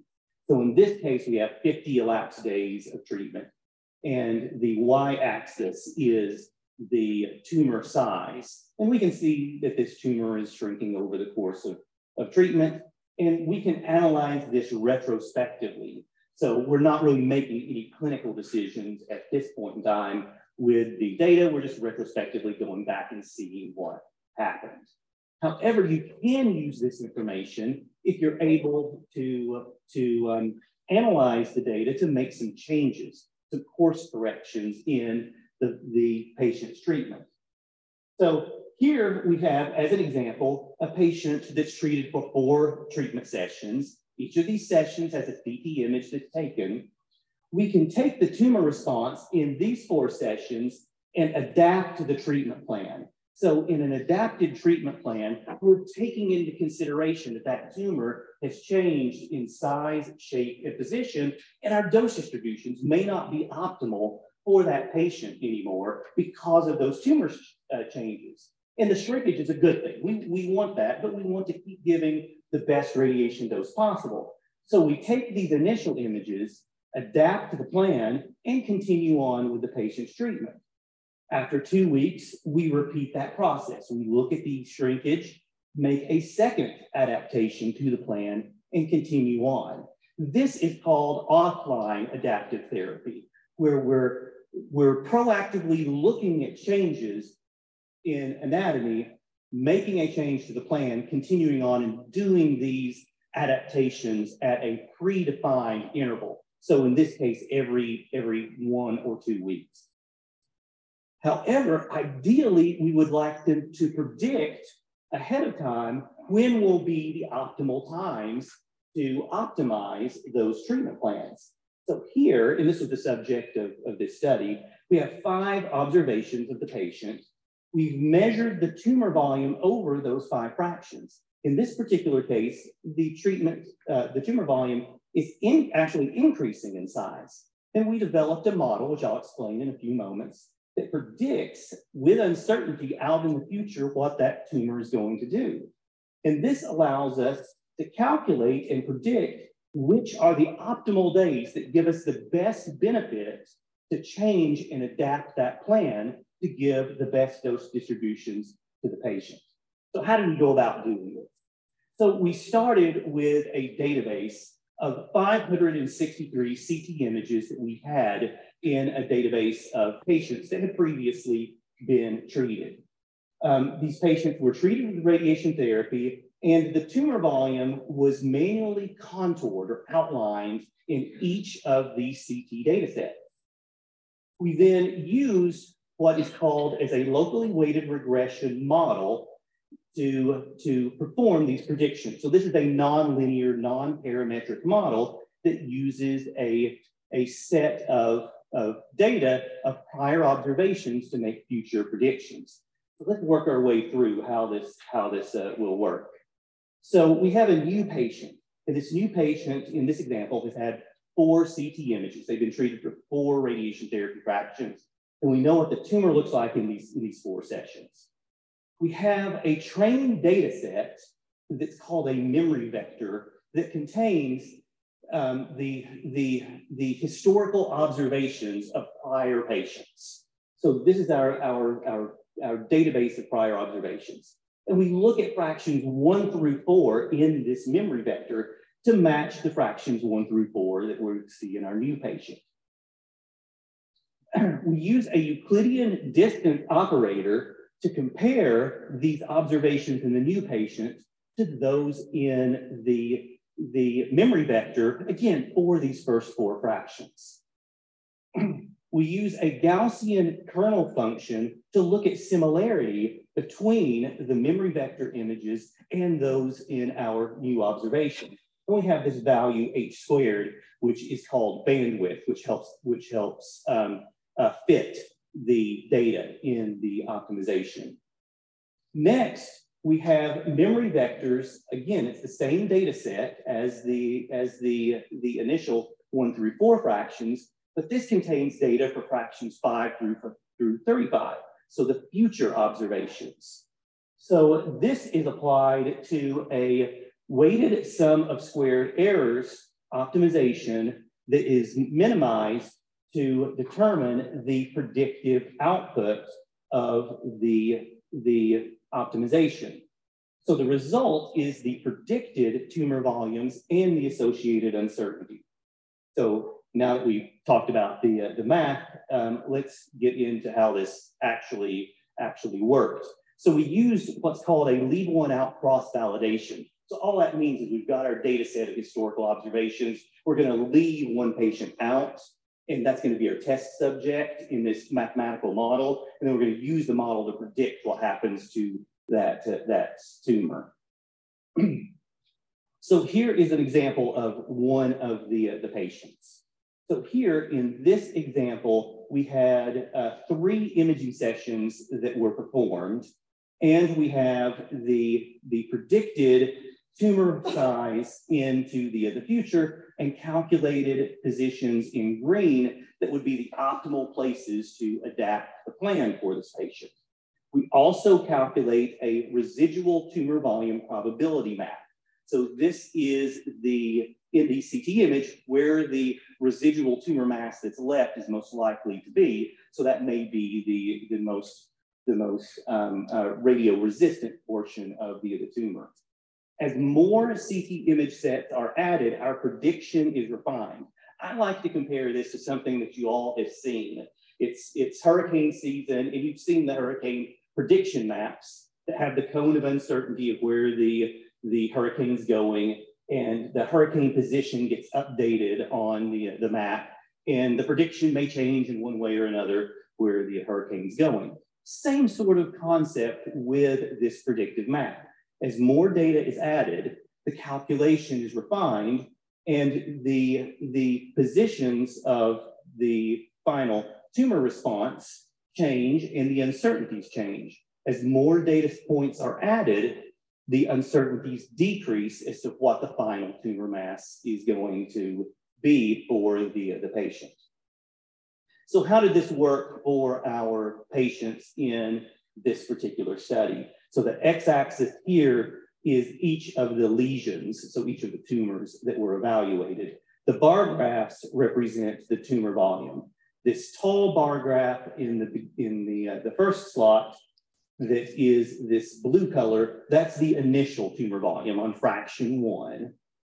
The, um, the second bar graph that's a, um, uh, uh, uh, whatever that color is. Um, um, I'm, a, I'm, a guy, I, I don't do colors terribly well.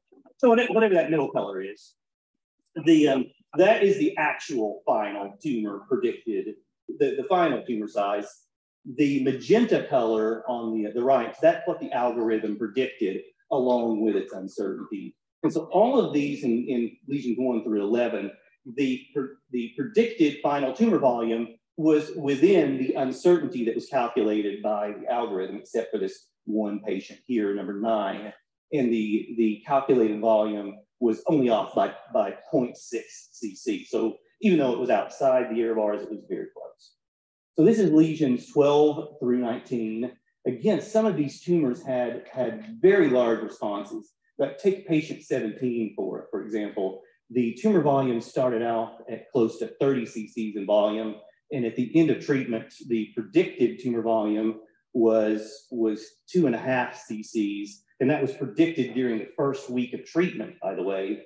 And the actual uh, tumor volume at the end of treatment um, was within 0.8 cc's of the, uh, the, the, predicted value. Uh, this is lesions 20 and 21. We're progressing, progressing to at the larger tumor volume. So these are smaller numbers of patients in the, data set. Here, both of these, the final volume and the predicted volume, were, uh, were very similar to one another and certainly within the error bars of the calculation. This is perhaps the, uh, the most interesting one is patients number 22 and 23, which were very large T3 tumors that were between seven and 800 cc's in size at the beginning of treatment and dropped down to about 250 cc's in size at the end of treatment. So even though the database did not contain patients with large tumors like these two patients, the model was still able to predict accurately their tumor response. So in summary, we have developed a novel technique for predicting tumor response over the course of therapy from a limited number of observations at the beginning of the course of therapy. And so this can be used to predict optimal times to, to adapt the treatment plans. And this can also give us some information about the, about the patient's, the patient's course of treatment. We want to see tumor response. So if our predictive model tells us that we're predicting that the tumor is going to shrink in size by 80%, then, then our treatment regimen is, is going in the correct direction. if our model tells us that the predicted change in tumor size is 20% over the, the course of therapy. Well, this is during the first week of treatment that we've identified this response. So it gives us the opportunity to maybe change course in our direction and further customize the treatment for that individual patient. and I thank you for your time and attention.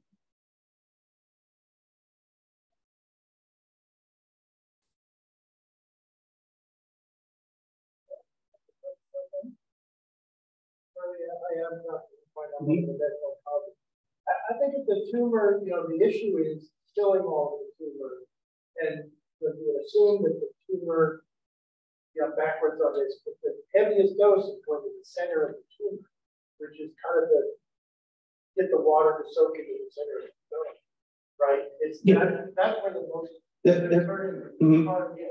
That's correct. So the idea of coning in on this, kind of adjusting the pattern as you go makes sense with that. But you know, that's a failure pattern. I mean, I'm curious if you thought you could do this with PET scans instead of CT scans. Let's actually die first and that's you know, I mean, I'm just thinking, is this really the, the best way to adjust the plan? Well, one reason we have we have to adjust the plans uh, not because of, of where the residual tumor is going to be, but we have to adapt the plans because then the, the dose shape that we've planned doesn't end up being what's delivered if the tumor shrunk in size by, by 50%.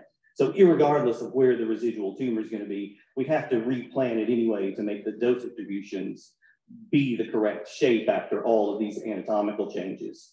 And uh, to your to your point on the the location of where the, the residual disease is at um, and dose throughout the target volume in radiation, in, in, in conventional radiation therapy, which is what I'm talking about, we try and make the dose distribution as uniform as possible throughout the target volume using, using standard radiation therapy. But perhaps, perhaps we shouldn't do that. Perhaps we should give a integrated boost to this area of predicted location of where the residual disease is going to be, since we know that that's the could be the, the most likely site of recurrence. Especially as you start to radiate more, right? I think that, that's an important consideration. Yes.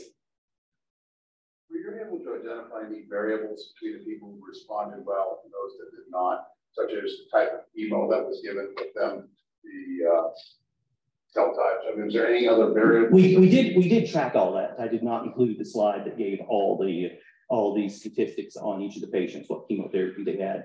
Problem is here in this particular study, because it was only 23 patients, so there's not enough patients to get any statistical significance of, of patients that had this particular characteristic did better than the others. So it's a proof of concept. It's a proof, it, yeah, the purpose of this wasn't so much what patients are responding better or are going to have greater survival is it was can this model predict what future behavior is going to be? you found, presumably working on a way to incorporate that into our practical treatment of patients throughout the system. We using this model?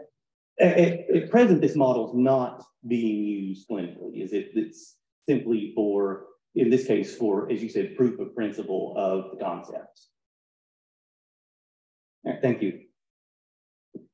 Thank you, Dr. Ramsey. Uh, we are bringing back Kim Pickle to finish up.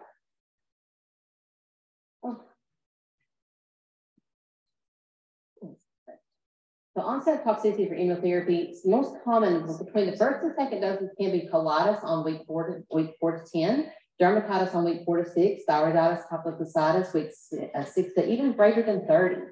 Um, so it's interesting to note that these endocrine um, itises can happen later on in the course of treatment. Less common, two or more doses.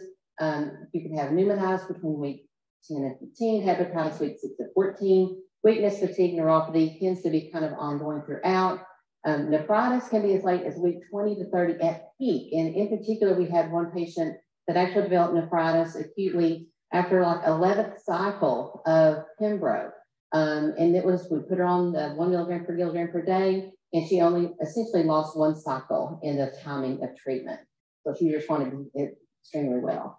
Neurologic, ophthalmologic, and cardiac all tend to be less common. It was also interesting to note the comparison of the consensus guidelines between ASCO and the Society of Immunotherapy in Cancer. Um, that with ASCO with grade one toxicity, you can have close monitoring on both. From grade two, ASCO recommended stop until grade zero to one and consider steroid. And then with the SITC was to stop and consider steroid and to restart to resolve or control with less than 10 milligrams per prednisone equivalent per day. Um, grade three and four, Society of Immunotherapy and Cancer had no general recommendations, but however, we tend to mostly follow the ASCO guidelines. With grade three, do stop, start the steroids, which is the prednisone, uh, taper over the four to six week period, and may require infliximab or other therapies that we tend to use typically more in the colitis setting. And with grade four, you currently discontinue. So patient management is close follow-up. Um, because these um, are given every three to sometimes even six weeks, uh, we really wanted to see them in a, a pretty close interval, especially at the get-go. Um, and we can do close follow just about lab monitoring. And so that's usually built into your regimen. So you're going to do CBC, CMP, TSH, 3T4, cortisol uh, with uh, essentially each cycle, if not every other cycle. Continuous assessment is what we do every day, taking care of patients like we're supposed to, history and physical and labs, degree of fatigue, new cough, dyspnea, chest pain, bowel habits and full quality. Um, I also tell people, especially with the colitis and especially in the doublet setting, that if you have just a little bit of diarrhea and all of a sudden that little diarrhea turns into a lot of diarrhea, then I need to know about that because that's simply just not simple diarrhea. It could be an immune response. Um, new rashes, again, just don't assume that it's poison ivy in the backyard and new body pain. Early intervention is the best, you know, prevention to kind of cure observation for grade zero to one. It can be a topical steroid, it can be escalated to systemic steroid or actually referral. Referral to the GI service for um, the infliximab therapy or the dermatologic for any type of atypical skin lesion that you're concerned with. Patient education from the get-go.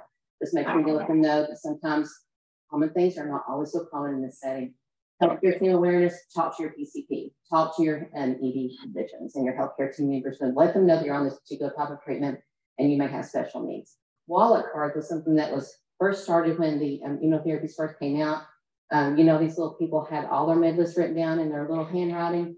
So just like that, we can also have a wallet card pre-made that is shows what drug they're on um, and to uh, notify us if they have any questions. And symptom checklist also came out when we first came out.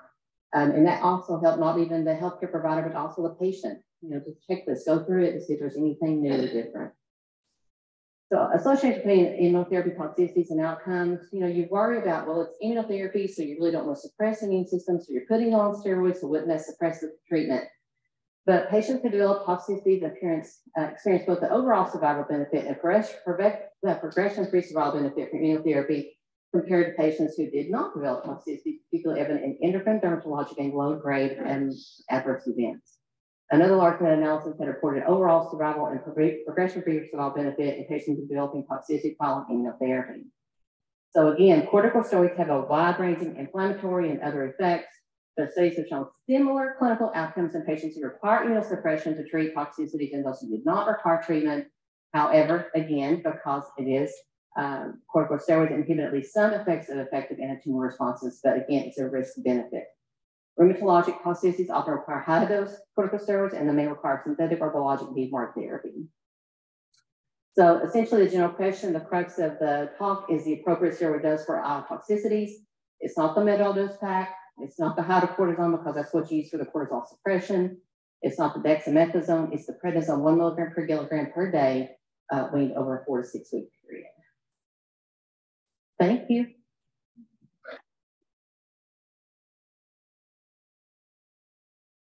So, looking at the guidelines, NCCN guidelines,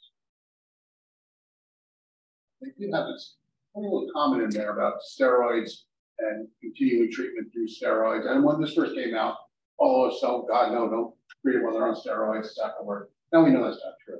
But um, so the guideline there is 10 milligrams, right? 10 milligrams. One milligram per kilogram per day. No, no, no, I mean, we can resume treatment. Yes, it can. You can keep them on treatment at 10 milligrams or less. Right, but that's just a guideline. That's not, we all know what guidelines are actually in the real world. probably said it best in part of the. But it, you haven't seen that movie, you really should. But um, it's it, it's what's magic about him? That was just part of the recommendations, but essentially, you know, we try to keep people on, take them, put them on and take them off as quickly as possible. Right. But it is, a- it is possible to treat somebody with a continual low dose steroid to Right, keep and them on I've done that. I've had people, so we keep them on treatment, we keep them on five milligrams of prednisone or up to ten milligrams, just to get them through treatment. If we go off, they crash, put them back on, you get them through treatment, and I've done that, it's worked well. One other question, for very early colitis, have you ever tried the budesonide? Yes, I, thank you for bringing that up. So with um, diarrhea, you can just do loperamide, uh, just the over-the-counter stuff. You can escalate that to a modal. Um, and then we've also, you can use cholestyramine um, or budesonide. Uh, so, you know, typically you hear about these are respiratory therapists, something budesonide, something you inhale, but it's actually oral. Uh, and it's very, very effective. I've used it. If you're using topical why not? Yes. And it's really, a GI guy. Just for that. It's something that we can try before escalating to Right, complexity. right. And you can treat for it. You get the decimite, you can treat through that without, without a problem. Yes. Thank you.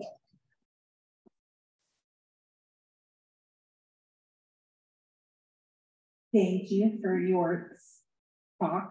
Um, I want to introduce our keynote speaker, Dr. Wade Iams.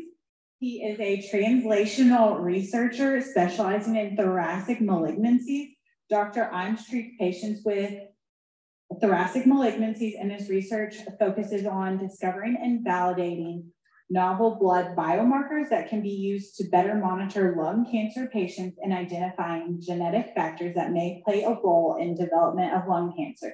Dr. Iams is also helps conduct clinical research, clinical trials at Vanderbilt for patients with thoracic malignancies, phase one trials, and with a special focus on new immuno-oncology strategies in patients with solid tumors.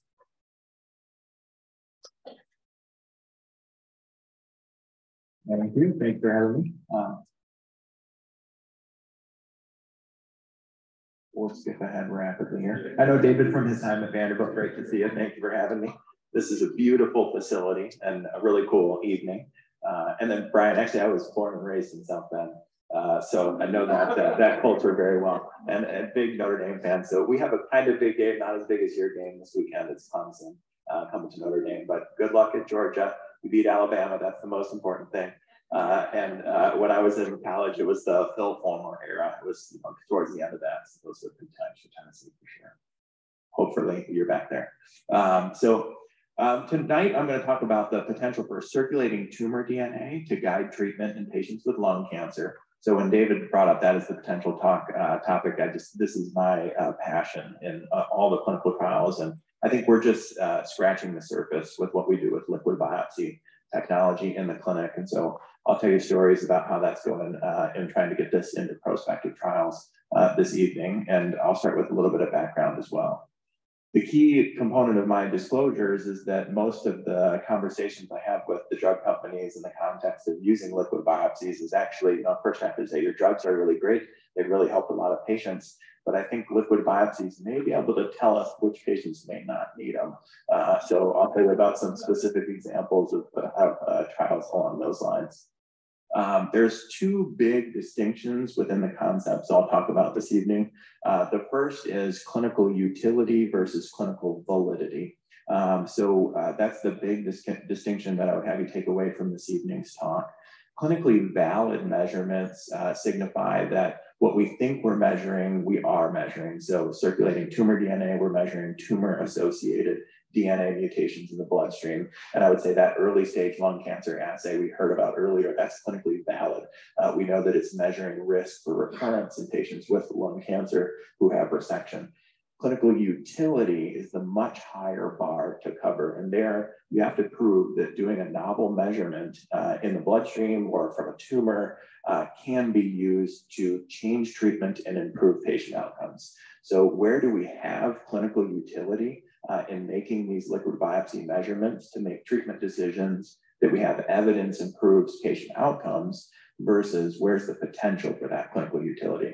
And the best way to distinguish that, and I'll show you some heavier data sets to come, uh, is that when we do these liquid biopsies to test, say, for an EGFR mutation in a patient with stage four non-small cell lung cancer, we have good evidence that there's clinical utility that starting Tagrisso for that patient is going to work and it's going to be beneficial. What we don't know is, say, in a surgically resected patient or a patient with stage three non-small cell lung cancer, if we do a liquid biopsy after their definitive treatment, when they might be cured, how does that inform treatment? We, have, we don't know whether it would be valid to still treat that patient based on that liquid biopsy result. And that's essentially the minimal residual disease field. In non-small cell lung cancer, we're a little bit behind colon cancer, which has really led the field of oncology to try to use these liquid biopsy assays to determine which patients need further treatment versus not. The pre-question, and I implied it uh, earlier in, in the uh, content so far, is that um, just thinking about what are the biggest data sets we may have in patients with lung cancer uh, to inform uh, the use of these molecules. So we can just uh, think to ourselves, I don't need uh, uh, audience calls, but if you want to call it, that's fine. Uh, research among patients with non-small cell lung cancer, with what specific mutation do you think has provided the most evidence um, to suggest um, this big panel, to suggest clinical utility. So you think about that, those are the data sets that I'll show you to follow. So in, in summary this evening, I'll go through what is circulating tumor DNA. I'm using that so far interchangeably with liquid biopsy, a more common term uh, for assessing these circulating DNA mutations uh, in patients, uh, why they matter, and then I'll talk about when we typically assess them in clinic now and when we might do that in the future. And I'll end with some specific examples of projects we've done at Vanderbilt dedicated to patients with small cell lung cancer hopefully give you some ideas and then potential for collaboration with patient specimens to put these data sets together.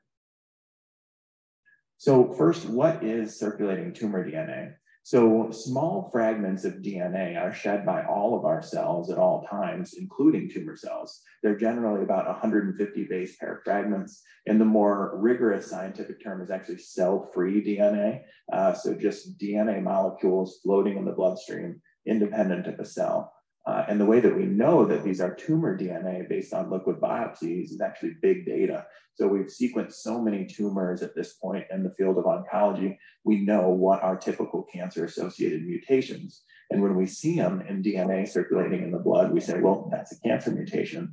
Um, there's two potential pitfalls uh, in what we have to filter for all the liquid biopsy assays. And I won't get into many more specifics, but the two ways you could go wrong if you say, see, an EGFR mutation, you have to first make sure it's actually not an inherited mutation. Um, there actually have been scenarios of EGFR T790M that's inherited, uh, and think BRCA mutations and other mutations that can be inherited uh, rather than from the tumor. And the other phenomenon that we've learned a lot about recently is that blood cells over time can actually acquire cancer mutations like in TP53 uh, or other uh, mutations that are associated with cancer, but it's actually not cancer. It's this phenomenon called clonal hematopoiesis of indeterminate potential. Uh, and the way you pick that out in the blood is actually the variant allele frequency is usually around 5 to 10%, and then it doesn't change with treatments, tends to be totally disconjugated uh, to the other tumor associated mutations. So there's a lot of sophisticated ways that that's being filtered out in the results that we see. But these uh, cell-free and specifically circulating tumor DNA molecules uh, have uh, exist very short uh, time frames in the blood just about 90 minutes, and they're actually less than 1% of the total circulating cell-free DNA because all of our cells are shedding this at all times just through the normal growth and dying process of our cells. So um, that's at its root what circulating tumor DNA is and what I'm going to talk about applications of throughout. So why do liquid biopsies matter uh, in the clinic? I think we're all familiar, particularly in the context of stage four non-small cell lung cancer, uh, of patients coming in with a new diagnosis and we see their biopsy result and we don't have sufficient tissue to test for mutations to see what they're eligible for, for potential targeted therapies or oral therapies. Um, it's uh, a couple facts about uh, biopsies, particularly in patients with non-small cell lung cancer. The likelihood that they'll be not sufficient for molecular testing is variable by site. Uh, and some studies have cited as low as 18%. I think in my experience, it's higher. This was a liquid biopsy study. So I think that we're doing a little better than 18% rate of tumor uh, molecular testing for our patients. Uh, but it can be low. And those are scenarios where we really need liquid biopsies to see if patients are eligible for oral therapies. And these next couple slides are, I think, just uh, general, nice to look at uh, in terms of population effects of these molecular targeted therapies uh, in patients with lung cancer. So when we think about the advanced lung cancer treatment landscape, uh, really over the last uh, close to uh, 80 years, uh, targeted therapies or uh, oral therapies directed at specific oncogenic mutations like EGFR, ALK, and the more uncommon ones like ROS1, RET. I think we have eight or nine NCCN guideline approved first line therapies for patients with stage four non-small cell lung cancer have, who have these mutations has really been a breakthrough for treatment options. But has this made a difference on the population level? Uh, and that's what I think is the most fascinating data to look at. So this is actually data put together by the National Cancer Statistics. Um, and the years reflected are still um, not fully up to date. This is 2014 to 2018, uh, and it's broken down by gender. Uh, and we see that the two cancer histologies with the most significant improvement uh, in overall survival are melanoma and lung cancer melanoma and lung cancer share the two big breakthroughs in cancer therapy, immunotherapy and oncogene directed therapies. So these have made huge differences in survival on the population level. Another way to display the data and also gets in a critical point about how early stage cancer and catching it early and treating it is always going to be the best approach is this figure. So it's a little bit complicated, but I'll walk you through it. So similar, it's a little bit older statistics uh, going from 2001 to 2014. And here we're looking at lung cancer mortality by stage at diagnosis. Um, so this is uh, age adjusted survival. Uh, and so uh, most patients caught at a very early stage remain alive at two years. So to me, this suggests early detection, making sure we're staying up to date on lung cancer screening. That's always going to be the best strategy to treat um, patients with lung cancer. But the reality is we're always going to see patients who are diagnosed at the time of stage four disease. And starting in 2009, 2010, which was really the introduction of EGFR inhibitors into the clinic for patients with non-small cell lung cancer, the curve just totally changes shape.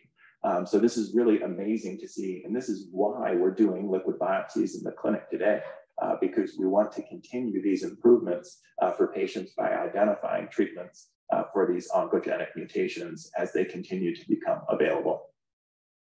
But now let's dive in more into that clinical validity and clinical utility distinction. And I think it'll make more sense when I put some examples around the data sets that I'm alluding to. So currently, when in the clinic, I send a liquid biopsy. I'm more in the um, solid tumor simultaneous with tumor NGS. Um, so there's really two scenarios, and they're you know they're highly debated as far as uh, what we should do in practice when we're seeing patients with non-small cell lung cancer. Um, some folks would prefer to just reflex to the liquid biopsy if the tissue is insufficient.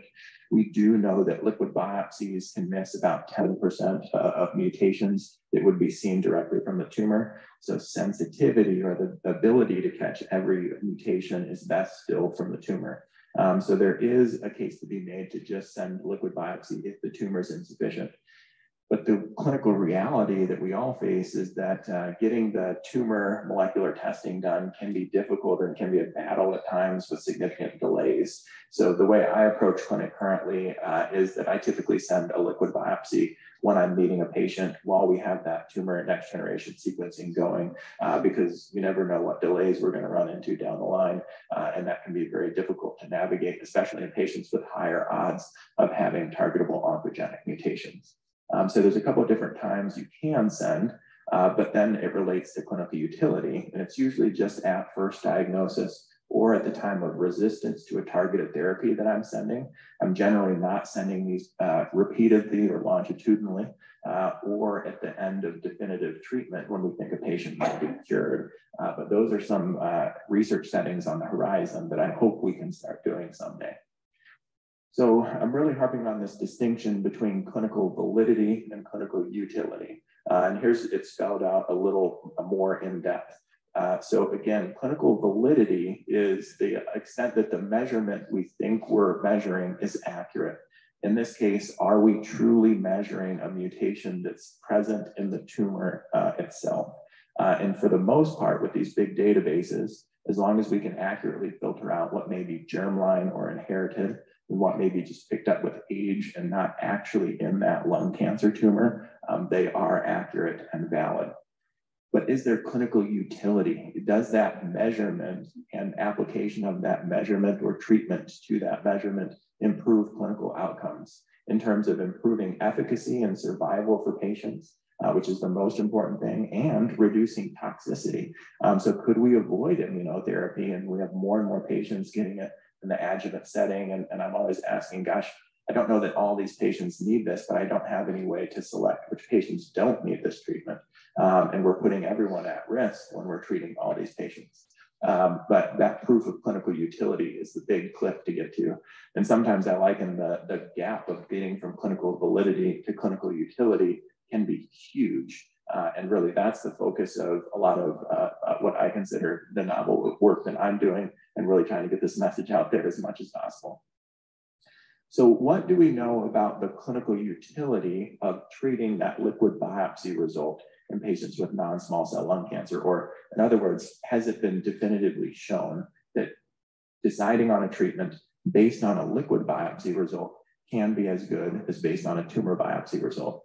So the biggest and best data set that's been put together was from the FLAURA study, which was the first line Tagrisso study in patients with EGFR mutant non-small cell lung cancer. Uh, and this is just the progression-free survival curve with patients treated with Tagrisso versus erlotinib or gefitinib, the standard EGFR TKIs at the time. And we see that osimertinib significantly improved median progression-free survival. So this was actually the tumor uh, molecular testing or NGS result that was used here. They, they did collect blood at the time of diagnosis and broke down the data set in a different publication uh, in similar fashion. Uh, and what was observed was exactly what we'd hoped. So using plasma circulating tumor DNA or liquid biopsy, EGFR mutations, we saw this same pattern. Uh, Tagrisso use significantly improved progression-free survival uh, compared to erlotinib or gefitinib. And these were big patient numbers, so nearly 200 patients in each group. Uh, we have yet to see this big of data sets proving that use of liquid biopsy. We just really extrapolate from this and say, okay, based on that EGFR data, if it's an ALK or a ROS1 mutation or uh, a MET mutation, then we can treat uh, with our targeted agents because we've seen uh, that in big data sets, the use of liquid biopsy has similar results to tumor. But one little call out and implication from the data that's pretty interesting, if we look at the median progression-free survival when it was tumor next generation sequencing, for Tagrisso, it's about 19 months compared to 10 months. Well, when we did the liquid biopsy data, it was 15 months compared to a little less than 10 months. So both groups match down a little bit. And that's because we do know that the detection of circulating tumor DNA is a negative prognostic finding. It is also associated with tumor burden. So the more tumor burden the patient has, the more likely you are to catch that in your liquid biopsy. Uh, and so it makes sense that your outcomes have, would have the same pattern, but would be notched down a little bit just with the liquid biopsy result. Um, so that's the utility at the time of diagnosis. Um, there were some really good data sets uh, put together in the erlotinib era at the time of resistance. Um, and so that's where alluding to the use of liquid biopsy at the time of resistance uh, to oncogene directed therapies comes in. Uh, so again, this is tumor-based uh, T790M acquisition. So when erlotinib was the most common first-line EGFR inhibitor in use, T790M uh, acquired resistance was far and away the most commonly uh, seen resistance strategy. Uh, and what was done was then osimertinib was initiated at the acquisition of that T790M mutation. Um, so it was a different practice setting, but it's the same scientific concept. Um, so here, tumor T790M uh, was treated with uh, Tagrisso, and we see really significant tumor shrinkage in patients with that T790M mutation. The y-axis here is the percentage change in the tumor. Basically, no, maybe one patient had tumor that grew on the Tagrisso. In a similar fashion, data from this study were broken down by liquid biopsy at the time of acquired resistance. And if we look at only plasma T790M positivity, we see the same trend with Tagrisso treatment. So we've seen at the time of diagnosis and at the time of acquired resistance in big data sets, uh, this is going to be 664 patients here, uh, very similar results when we use that liquid biopsy, uh, similar to the tumor NGS. Um, so that's the validity in the context of acquired resistance. So much so that as early as 2016, uh, this algorithm was proposed that at the time of acquired resistance to erlotinib, uh, if a liquid biopsy would be sent and if T790M was detected, you didn't even need a biopsy. You just started your uh, next generation inhibitor. Um, so uh, that's just to say that the clinical utility at the time of diagnosis and the time of acquired resistance has been proven in the EGFR context, and we extrapolate. Now, what's on the horizon here uh, for potential clinical utility, specifically with minimal residual disease monitoring? And there's three big data sets that I'll tell you about, and then I'll dive into our Vanderbilt data set uh, and conclude.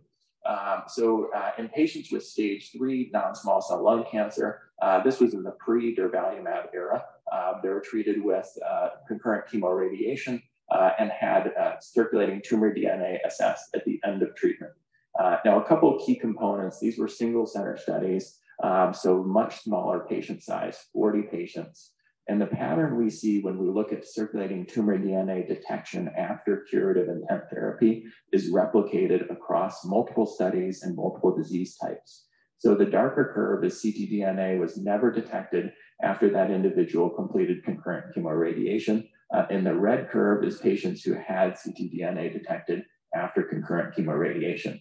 Uh, and this is both progression-free survival uh, and overall disease-specific survival. So the really dramatic curve differences. And if you detect tumor DNA after curative intent therapy, uh, you're probably going to relapse and have death in the near term. Um, so the question is, can we treat this? I'll show you more data sets that show the same pattern. Nobody's proven in lung cancer that treating that MRD, MRD uh, can improve clinical outcomes. That, that's where I hope we get to. So it's also been evaluated in patients with stage four non-small cell lung cancer. Um, so Memorial Sloan Kettering in New York put together a series of 31 of their patients who had been on immune therapy for about two years. They did a blood draw. Uh, currently in the clinic, our immune therapy regimens were studied for two years. It's a question if we should stop at that two-year time point or continue indefinitely. Um, so they looked at ctDNA at two years and saw that in individuals who had ctDNA positivity, their event-free survival, so this was progression or death, was significantly worse than patients who had clear ctDNA at that time point. Again, numbers were small though, and only four patients had positive ctDNA. Uh, so hard to draw definitive conclusions from that small data set. We've done the same thing at Vanderbilt in patients with limited stage small cell lung cancer. So a similar uh, treatment setting and even worse cure rates in the case of small cell lung cancer. Only about 30% of patients are cured. So we put together 23 patients who were treated with concurrent chemoradiation and assessed their circulating tumor DNA at the end of treatment. The blue line was patients who had uh, circulating tumor DNA ever detected uh, versus the red line where circulating tumor DNA was never detected after treatment. And we see huge differences in the percentage of relapse. Um, so can we use this to make treatment decisions is the big question. And how do we make that pitch? So uh, I'll show you a couple examples uh, of how I'm making that pitch and tell you a little bit about how it goes along the way. So, um, so here's how we could use the stage four non-small cell lung cancer data set to inform a clinical trial. Uh, and one of the key points when we think about clinical trial design using circulating tumor DNA is where do we randomize? So where we randomize in this schema is going to determine which question we're answering. And I would argue the question that we need to answer with circulating tumor DNA is, does using it improve outcomes, both in terms of disease control and toxicity, compared to just not using it at all, which is our current standard of care.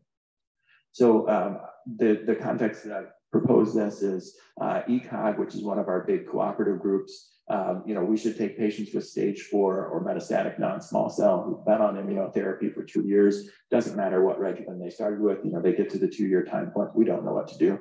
Uh, randomize them to whatever the current standard is so that treating physician can make their choice immunotherapy or stop and surveil, uh, or do a circulating tumor DNA assessment um, if we detect that circulating tumor DNA, uh, basically at any degree, so 0.1% variant allele frequency is literally the lowest amount of circulating tumor DNA we can detect. Um, we would continue therapy and even consider reinduction. That point was debated. Uh, and if there was no circulating tumor DNA, we would continue active surveillance for those patients. Key, because I do talk to patients about this type of design, we'd have to continue that monitoring we wouldn't want to stop the MRD monitoring just at that one time point and, and not continue treatment. Um, so the trajectory that this experience within ECOG, um, uh, it was highly debated. Ultimately, um, it was felt that there wasn't sufficient preliminary data uh, to move with this concept. And the decision has been made to move forward with uh, just a one-to-one -one randomization to immunotherapy continuation or stop uh, with the ctDNA to be evaluated retrospectively. Um, so I was a little disappointed by, by that, but uh, you know, members of the group said, well, why don't you talk to the drug company, see if they'd be willing to sponsor this. Uh, so talk to Merck, uh, they had no interest in sponsoring this currently. Uh, uh, insurance will pay if you want to continue uh, the pembrolizumab past two years, which is the most common situation. so they said, no, we'll pass on that. Uh, but talk to Regeneron. So they have cemiplimab, a competing uh, uh, immunotherapy agent that is approved for patients with PD-L1 high, and they have a chemo combo coming. So they're interested. They're currently reviewing potentially uh, funding this study to start at Vanderbilt. Um, there's still multiple discussions and budget uh, to be hashed out, but um, there are avenues to try to get these assessments evaluated, and that's what I work on most of the time when I'm not in the clinic. So a last bit about um, small cell lung cancer and kind of a little backstory uh, of how this type of work happened to lead to that data set that I showed. You know, first and foremost, it takes uh, absolutely a huge team uh, to do these collections. And the way we do it at Vanderbilt currently is uh, we have a clinical coordinator and multiple lab members who help process. This is Monica, uh, and Ying Jun uh, help, who help us consent patients and do the blood collections for these observational studies. Um, we really started dedicating uh, to longitudinal blood collections uh, at Vanderbilt uh, back in 2014. Uh, we've consented uh, 200 unique patients at this point. Uh, we collect every time they're in the clinic and willing to have a collection. Intermittently, we have patients withdraw consent so they, they don't want, they want to be done with the research collections, which is fine. Um, and we have over 1,000 blood samples in these patients. Um, so that limited stage small cell lung cancer data set is derived from this foundational work. Now, uh, when we talk about circulating tumor DNA in patients with small cell lung cancer, um, I just wanted to put a few slides in proving the validity because currently in practice, I, I, don't send liquid biopsies in patients with small cell lung cancer. We don't have any targeted therapy, so it typically doesn't uh, influence my practice. So um, it's hard to make a case to do it in standard of care uh, for patients with small cell lung cancer. So it's actually fully in the research domain that we've observed the validity of liquid biopsies in patients with small cell lung cancer. What we know about the genetics of small cell lung cancer is it's by and large driven by TP53 and RB1 mutations. Um, so this is a massive tumor-based NGS data set in patients with small cell lung cancer. Uh, and all the areas that are colored in are mutations in that specific gene. Um, so far and away, 70 to 90% of patients have mutations in both TP53 and RB1. So we take that into our liquid biopsies in patients with small cell lung cancer and say, if we see TP53 and RB1, then we're probably measuring those tumor mutations. And we have gone back in a few cases and looked at tumor concordance. Um, but the way we've done these analyses is, is, so far we partnered with a company called Resolution Bioscience. We also do have collaborations with Guardant, who's interested in this, and Tempus, who are interested in this. Most of the companies want, are willing to pay for their assay to be done for these evaluations to get their name out there as valid in the space. Um, so I haven't run into a lot of difficulty getting the companies to engage. It's just getting the specimens and making sure they're processed appropriately. That's a big lift. Uh, and then getting them to the company.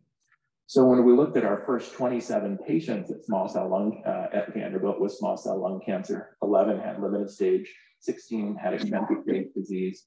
Again, a busy slide, but the key takeaway, we see the TP53 and RB1 mutations are present in the vast majority of patients, although the percentages are a little lower than I quoted in tumor. So 70% with P53 and 52% with RB1, which is directly analogous to the slightly less sensitivity of liquid biopsies that we know. So that would be expected. Tumor, you're gonna see a little bit more mutations than you're gonna see in the liquid biopsy. Uh, and when, when we look at the individual level, uh, we see that tracing the circulating tumor DNA over time predicts clinical outcome. And this is what led to us putting together the previous data cohort that I showed. Uh, and I'll show you a little bit more background and then wrap up. Um, but we see that uh, the circulating tumor DNA in this patient with small cell lung cancer was predominantly the, this TP53 mutation. Uh, and we see that over time, which is on the x-axis here, uh, the patient was treated with carboplatin and etoposide. They fully cleared their circulating tumor DNA. Uh, and then about 200 days into their therapy, when the CT scan looked pretty good, we didn't have evidence of recurrence on the CT.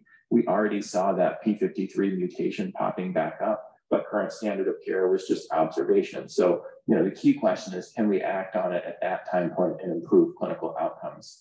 Uh, subsequently, the uh, variant allele frequency of that P53 jumped way up uh, and the patient had uh, pancytopenia, actually marrow recurrence of their small cell was really bad, and they were and they passed away without further treatment. So you know, a small cell trajectory that's not uncommon. The disease uh, goes away seemingly completely, and then it comes back very uh, aggressively, and it's very hard to treat at that point. When we looked across our whole group of small cell lung cancer patients, we saw that nine had rises in their tumor DNA prior to the radiographic progression. Um, two had rises that clarified ambiguous CT findings, the clinical reality we all face all too often. Uh, how do we interpret, especially you know those post-radiation changes? Is this disease recurrence? I think ctDNA could be really helpful there. Uh, and then eight patients had rises that coincided with progression on imaging.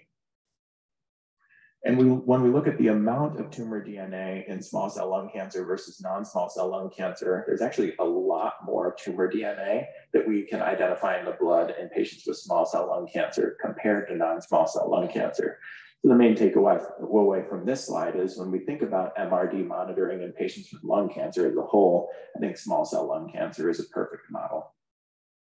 And the hypothesis of this study uh, that I showed of the limited stage small cell lung cancer patients was that circulating tumor DNA could provide insight into which patients with limited stage small cell lung cancer were cured or not. Uh, in the clinic, they look the same, but we know that 30% of the patients are cured and 70% will have lethal relapse. So can circulating tumor DNA uh, inform us as to which patients may benefit from further therapy? I'll skip through a few more of the background slides and conclude with a trial that I uh, also have taken forward again through ECOG and again through drug companies and tell you a little bit of that story and then that'll be it. Um, so here's what we, what we could do in patients with limited stage small cell lung cancer. Um, so if a patient, let's say they're diagnosed with limited stage small cell lung cancer, they get definitive concurrent chemoradiation. Surgery is almost never an option in limited stage small cell lung cancer. It's usually too advanced for that to be on the table. Um, but then we would test their circulating tumor DNA. And if we detected their circulating tumor DNA at any variant allele frequency, we would administer an immune checkpoint inhibitor. If we didn't, uh, then we would uh, just continue uh, ctDNA monitoring. Uh, and if, if, at any point they detected circulating tumor DNA, we would institute uh, the immune checkpoint inhibitor. Um, so I also took this to ECOG and saying, no, we should do this study. We have this data set showing that uh, liquid biopsy results in patients with small cell lung cancer can tell us who's going to recur and die. I said, oh, you know, that's a great idea. Uh, we have another study already looking at atezolizumab in patients with limited stage small cell lung cancer uh, at the time of concurrent chemoradiation and then adjuvant.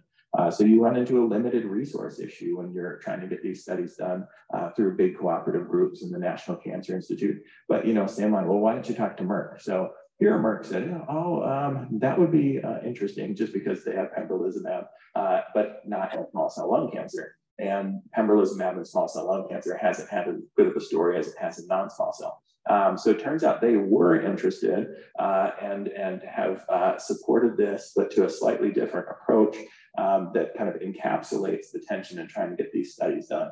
Um, so in discussions with Merck, they said this is a great idea, and I think I think liquid biopsy has huge potential. We should uh, we should capture that information. Uh, but why don't we treat everybody with Keytruda, um, and then we'll just look at the liquid biopsy results uh, retrospectively.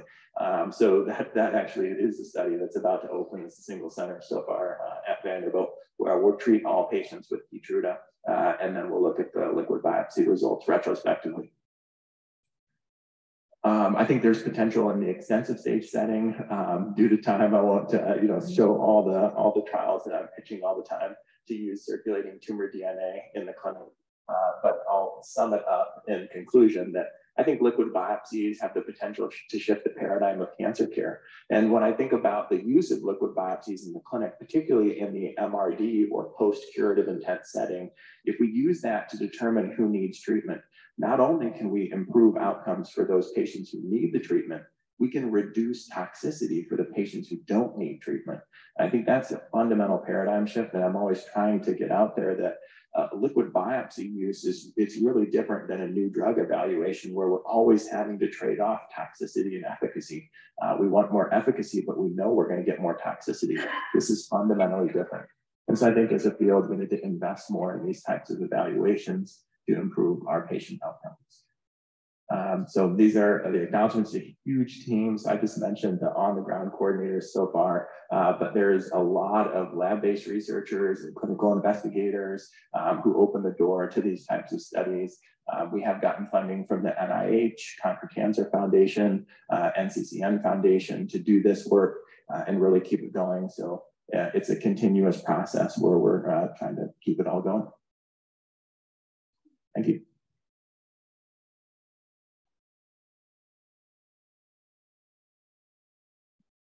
Thank you so much for speaking, Dr. Iams. Um, I just want to have a quick little reminder. We have your CME credit in your folder. So if you want CME credit, please fill that out and put it on the table on your way out. Um, and Dr. Chisholm is going to come up here and we're going to give our clinical trial champion award. Thank you, Dr. Iams. Thank you for all our guest speakers for the second annual. Uh, I think everyone learned something tonight. Uh, it's fascinating how things are changing at such a rapid pace for lung cancer.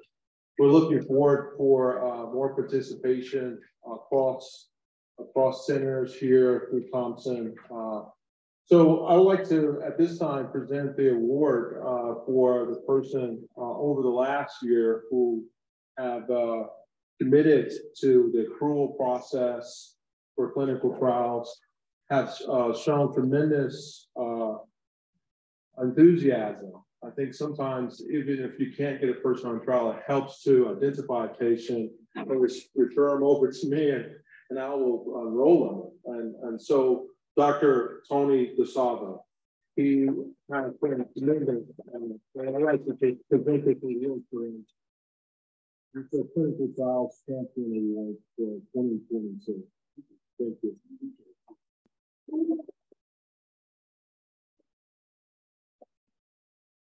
Thank you so much for taking your time and coming out for our clinical trial symposium. We're very excited to host it.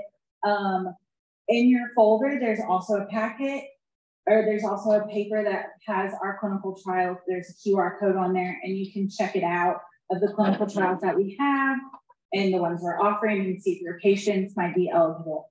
Thank you so much for coming.